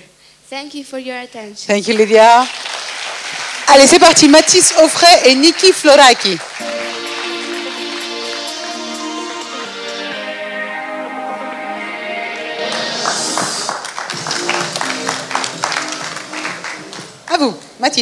Bonjour. Est-ce que vous avez entendu parler de deux trous noirs qui se sont rentrés dedans? Eh bien, ces deux trous noirs ont formé des ondes gravitationnelles. Et ces ondes peuvent changer l'espace-temps. Je crois que ces ondes peuvent aller plus rapidement que la lumière. Euh, grâce à ça, on pourrait voyager plus rapidement dans l'espace et pouvoir même voyager dans le temps. Découvrir de nouvelles planètes, de nouvelles galaxies et même de nouvelles époques. Euh, mais, pour, pouvoir faire ça, il faudrait fabriquer des routes spécialisées pour voyager dans le temps et dans l'espace. Mais, mais les ondes gravitationnelles changent aussi, la, changent aussi la matière. Donc, il faudrait fabriquer une matière spéciale pour pouvoir voyager. Euh, pour quand le voyage dans le temps Νίκη Φλωράκη, σε ακούμε. Καλημέρα σας. Με λένε Νίκη Φλωράκη. Je m'appelle Vicky Floraki. La question que j'ai choisie, de- sur laquelle j'ai choisi de tra- travailler, c'est que je pense que, que euh, de- d'une chose à laquelle euh, que beaucoup y ont pensé. On se demande toujours s'il y a des êtres vivants dans l'espace, en dehors de la Terre. Car dans notre univers, il y a des milliards de galaxies. Imaginez que notre galaxie, seulement notre galaxie, a un diamètre de 100 000 années-lumière. Donc, il doit y avoir une vie quelque part ailleurs. Lorsque quelqu'un, un enfant, de, un jeune de mon âge, euh, écoute parler de cela, il image des, êtres bizarres, euh, des, disques volants, des, des soucoupes volantes. Et aujourd'hui, je me suis demandé pourquoi est-ce qu'on ne fabriquerait pas des fusées pour, euh, pour euh, pouvoir euh, suivre ces années-lumière. Mais nous ne pourrions le supporter, cette vitesse. Mon père m'avait parlé d'un livre qui s'appelait La dernière question, qui a été édité en 1956. Est-ce que ce sont des gens qui, qui vivent en 2016 qui fabriquent un ordinateur très intelligent et on demande à l'ordinateur est-ce que l'on peut inverser la loi de la thermodynamique? Est-ce que tout nous, notre univers, pourrait être- redevenir, être euh, tel qu'il existait avant le Big Bang L'ordinateur répond je ne sais pas. Donc, c'est l'ordinateur. On demande à l'ordinateur de faire quelque chose de plus intelligent et de plus et, chaque, et au fur et à mesure. Sur la base de cette théorie, je pense qu'il est plus facile de faire des robots, des robots qui peuvent évoluer entre eux et fabriquer à leur tour de plus, des fusées plus efficaces et plus performantes que celles que nous fabriquions. La seule solution, c'est le, té- le, le télé- la- transport. euh, comme un, des- un des grands défis, c'est de pouvoir conquérir l'univers, en fait, par ce moyen de... Fedra Perli Goyard, c'est vous qui allez clôturer cette tornade de pitch. À tous les trois.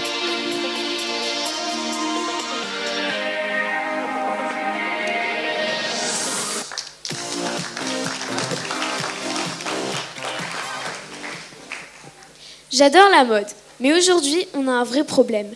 Le changement climatique et la pollution. Vous n'avez jamais remarqué que l'on dit de plus en plus souvent qu'on ne sait plus comment s'habiller avec ce temps. C'est pour cela que j'ai inventé une tenue, intelligente qui permettrait de, s'adapter au temps. Quelles seraient ses fonctions? Eh bien, elle serait fabriquée à base d'une fibre extensible qui, du coup, créerait euh, des manches ou rallongerait les pantalons. Euh, euh, En plus, le tissu deviendrait imperméable ou au contraire très léger automatiquement et changerait de matière en fonction du temps et de l'humidité. Quelles seraient ses qualités? Ce serait une tenue qui s'adapte à notre volonté, qui change de couleur et de forme en fonction de nos désirs. Plus besoin de passer trois heures à se préparer le matin. Euh, on pourrait éventuellement créer un, un collier anti-pollution. Mais qu'est-ce qu'un collier anti-pollution? Un collier anti-pollution, c'est un collier avec un pendentif. Dans ce pendentif, il y aurait une cartouche de gaz et autour du pendentif des perles. Dans ces perles, il y aurait des capteurs qui capteraient la pollution et déclencheraient l'ouverture d'une poche de gaz. Ça créerait comme un bouclier autour de la tenue. En, de- en 2017, on a déjà inventé les maisons intelligentes, les voitures intelligentes, alors pourquoi pas les vêtements intelligents? Merci. Merci. Bonjour, je m'appelle Esteban Franck et aujourd'hui je vais vous présenter mon idée. Imaginez-vous, vous allez par exemple euh, en France, à Paris, et euh, vous allez en train. Et vous avez une valise tellement lourde que vous allez rater votre train. Et bien mon idée c'est de créer une poignée que vous clipsez à votre valise ou à votre cartable et qui va envoyer un champ de force. Ce champ de force va léviter la valise et vous pourrez transporter tranquillement et très facilement votre valise jusqu'à votre moyen de transport. Merci. Me passionne. Je me suis toujours posé des questions sur eux comme que font-ils ou que veulent-ils? Regardez mon cher Hermès. À chaque fois qu'il revenait de sa balade quotidienne, je voulais lui poser un tas de questions. Mais que voulez-vous qu'il me dise? Je ne parle pas le chat, moi. Quand on me parle de 2050, on me parle surtout de robots. On me dit que l'homme n'aura presque plus besoin de rien. Mais je ne vois pas la chose de cette façon. Moi, je vois 2050 comme un monde où l'homme, entouré d'informatique, aura besoin de contact avec les animaux. Les animaux nous aiment et nous tiennent compagnie. Alors si nous voulons avoir leur compagnie en 2050, il faudra avoir un moyen de communication avec eux plus performant que celui d'aujourd'hui. On pourrait le baser sur la technologie. On pourrait imaginer un dispositif de communication mutuelle qui introduirait une puce électronique dans le cerveau des animaux. Elle serait connectée à un collier spécial qui transformerait les données des neurones en paroles humaines. On pourrait améliorer le dispositif par un système de caméras, de micros, de géolocalisation, etc., etc. À nous d'imaginer. Enfin, je voudrais remercier mon cher Mess pour m'avoir donné ces idées. Merci beaucoup, Fedra. Esteban, Gabriel, restez avec moi. Il y a tous vos amis qui vont venir maintenant. Reste là, reste là, reste là. Ils vont tous venir nous rejoindre, tous ceux qui ont pitché. On peut tous les applaudir. Restez, venez tous sur scène maintenant. Venez, venez, venez, venez, venez, venez. Et pendant que le jury va vous remettre à tous un petit cadeau, à tous les pitchers, on va regarder un film. Et c'est le film d'Athènes en 2050 qui a été préparé par 19 élèves, pas moins, de 6e. Et c'est la 6e d'Armel Philippe, qui est professeur d'histoire-géographie. Et le tout a été réalisé par Georges Lagos. Pendant qu'on voit le film, messieurs et mesdames les jurys, vous allez remettre les petits cadeaux à tous les pitchers qui sont maintenant sur scène. Venez tous, venez tous les pitchers. Venez, venez les enfants. Venez, venez, venez, venez, venez, voilà. Et pendant ce temps, on voit le film.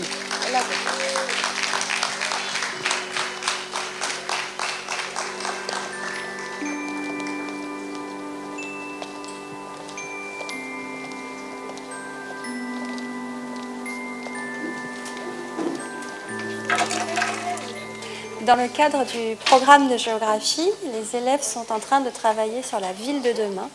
Et à partir de leur ville d'Athènes, ils sont en train de réfléchir à ce que pourrait être la ville de demain pour améliorer le futur de leurs habitants. Ils ont essayé d'imaginer cela en groupe et ils proposent une production euh, qui reflète leurs idées pour euh, Athènes en 2050. Le travail de géographie a commencé par une euh, définition de ce que représentait pour les élèves la ville. On est arrivé à l'idée qu'une ville, c'était se déplacer, se loger, travailler, se nourrir. Et les élèves ont été invités à prendre des photographies de leur ville d'Athènes qui pouvaient refléter la définition que nous avions établie en classe. À partir de là, ils ont réfléchi en groupe sur comment la ville de demain pourrait améliorer le quotidien de ses habitants dans différents domaines. Ils ont confronté leurs idées avec euh, des projets qui existent déjà dans différents pays du monde. À partir de ce travail de réflexion, ils ont en groupe élaboré une production écrite, mais aussi illustrée en maquette ou en dessin, de ce que pourrait être leur ville quand ils seront adultes. Bonjour, on va vous présenter nos idées pour notre ville du futur. Au futur, il y aura des bâtiments hauts et bas et des jardins sur les toits des maisons. Pour mieux cohabiter, il y aura sur tous les immeubles des écrans pour communiquer avec les gens du quartier. Euh, à Athènes en 2050, pour mieux se déplacer, on aura des voitures écologiques, des bus et des vélos en l'air et des, et des téléphériques qui partiront de l'acropole. Pour mieux cohabiter, on- on- il y aura des rencontres dans les parcs et s'il pleut euh, en dessous du Parthenon, là où il y a des services pour tout le monde. Et pour mieux se loger, on a fait des euh, appartements très hauts pour pas que c'est l'un très près de l'autre et ça pollue. Et pour mieux se nourrir, on a fait des jardins avec des légumes. Pour avoir de la place, nous devrons construire plusieurs gratte-ciels au moins 200 mètres de hauteur. Tous les gratte-ciels devront avoir une terrasse à panneaux solaires et des jardins intérieurs. Les maisons devront être écologiques et avoir des services de proximité. Pour se déplacer, nous voulons baisser le niveau de pollution.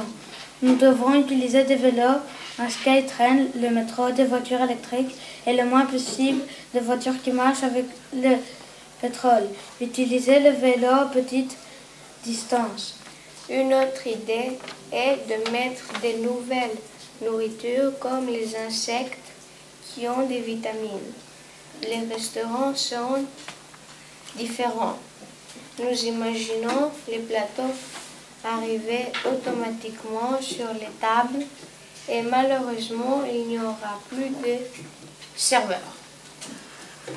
Pour mieux cohabiter, il y aura des rencontres euh, chaque mois au parc pour euh, que les enfants jouent et que les parents puissent parler et communiquer. Et aussi pour les problèmes du quartier et de la ville. Euh, chaque habitant pourra donner 5 euros chaque mois pour aider les personnes euh, en pauvreté.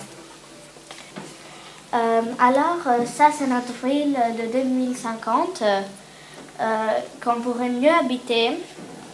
Et pour mieux cohabiter, euh, on a un grand parc où euh, tous les jeunes enfants et les personnes âgées peuvent venir s'amuser ou, se, ou regarder la nature.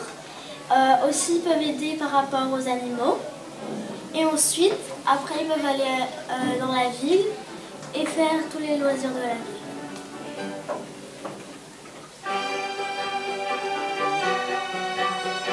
Allez, félicitations, on applaudit. Restez tous sur scène. Amalie, Alex- Allez, on fait une photo avec les lauréats, avec tous les, les pitchers. Retournez-vous, retournez-vous les enfants pour faire une photo avec les membres du jury. Voilà, avec vos petits cadeaux. Voilà, les membres du jury, prenez les enfants. Rapprochez-vous par contre, parce que vous savez comment c'est les photos. Il faut être bien rapproché. Voilà, comme ça on fait des jolies photos. Merci Tristan de jouer les photographes aussi. Voilà, bravo. Voilà, Brigitte Rennes aussi prend des photos. Tout le monde prend des photos. Ça va tourner ces photos. Allez, et pendant que vous prenez les photos, on remercie toute l'organisation. Je vais appeler aussi Christophe Chantepie, l'ambassadeur de France en Grèce, et aussi euh, les- tous les élèves qui ont réalisé les vidéos qu'on a vues tout à l'heure, notamment les élèves là, de, de la classe d'histoire géo tout à l'heure, qui on vient de voir leur clip, mais aussi les 19 élèves de CM2. Si vous êtes ici présents, venez aussi. Monsieur ambassadeur au milieu des enfants. Alors, à genoux, parce que sinon je vais les cacher. Voilà. On- Voilà pour la photo. On vous écoute, monsieur l'ambassadeur. Comment c'était le Mazinov numéro 2 Bah écoutez, c'était très bien et ça s'est terminé merveilleusement, notamment grâce à vous. Je sais que c'est pas facile de monter sur scène euh, comme ça pour la première fois et de parler devant le public. Vous l'avez fait génialement. Bravo, bravo à vous tous. Félicitations. Et du Dites-nous un mot de la fin. Et, et l'an prochain, pour le Mazinov 3, je vous embauche tous, hein, vous revenez. Bon, merci à tous euh, et à, toutes et à tous. Merci à notre jury de ce matin. Merci à tous ceux qui ont participé à la journée d'hier, tous ceux qui ont participé à la journée d'aujourd'hui, à toutes les belles idées que nous avons entendues euh, ce matin, tous les beaux débats que nous avons eus hier, toutes les belles adoptions que nous allons suivre et dont nous vous tiendrons au courant à travers notre site internet et notre page Facebook, qui ont eu lieu hier. C'est important, il y a 20 startups qui ont été adoptées hier par des entreprises, et donc euh, elles se sentent ce matin moins seules. Merci à tous ceux qui ont participé à l'organisation de cette euh, journée et demie de Mazinov. Merci à Alexia de l'avoir euh, animée avec son talent habituel et je vous invite à l'applaudir.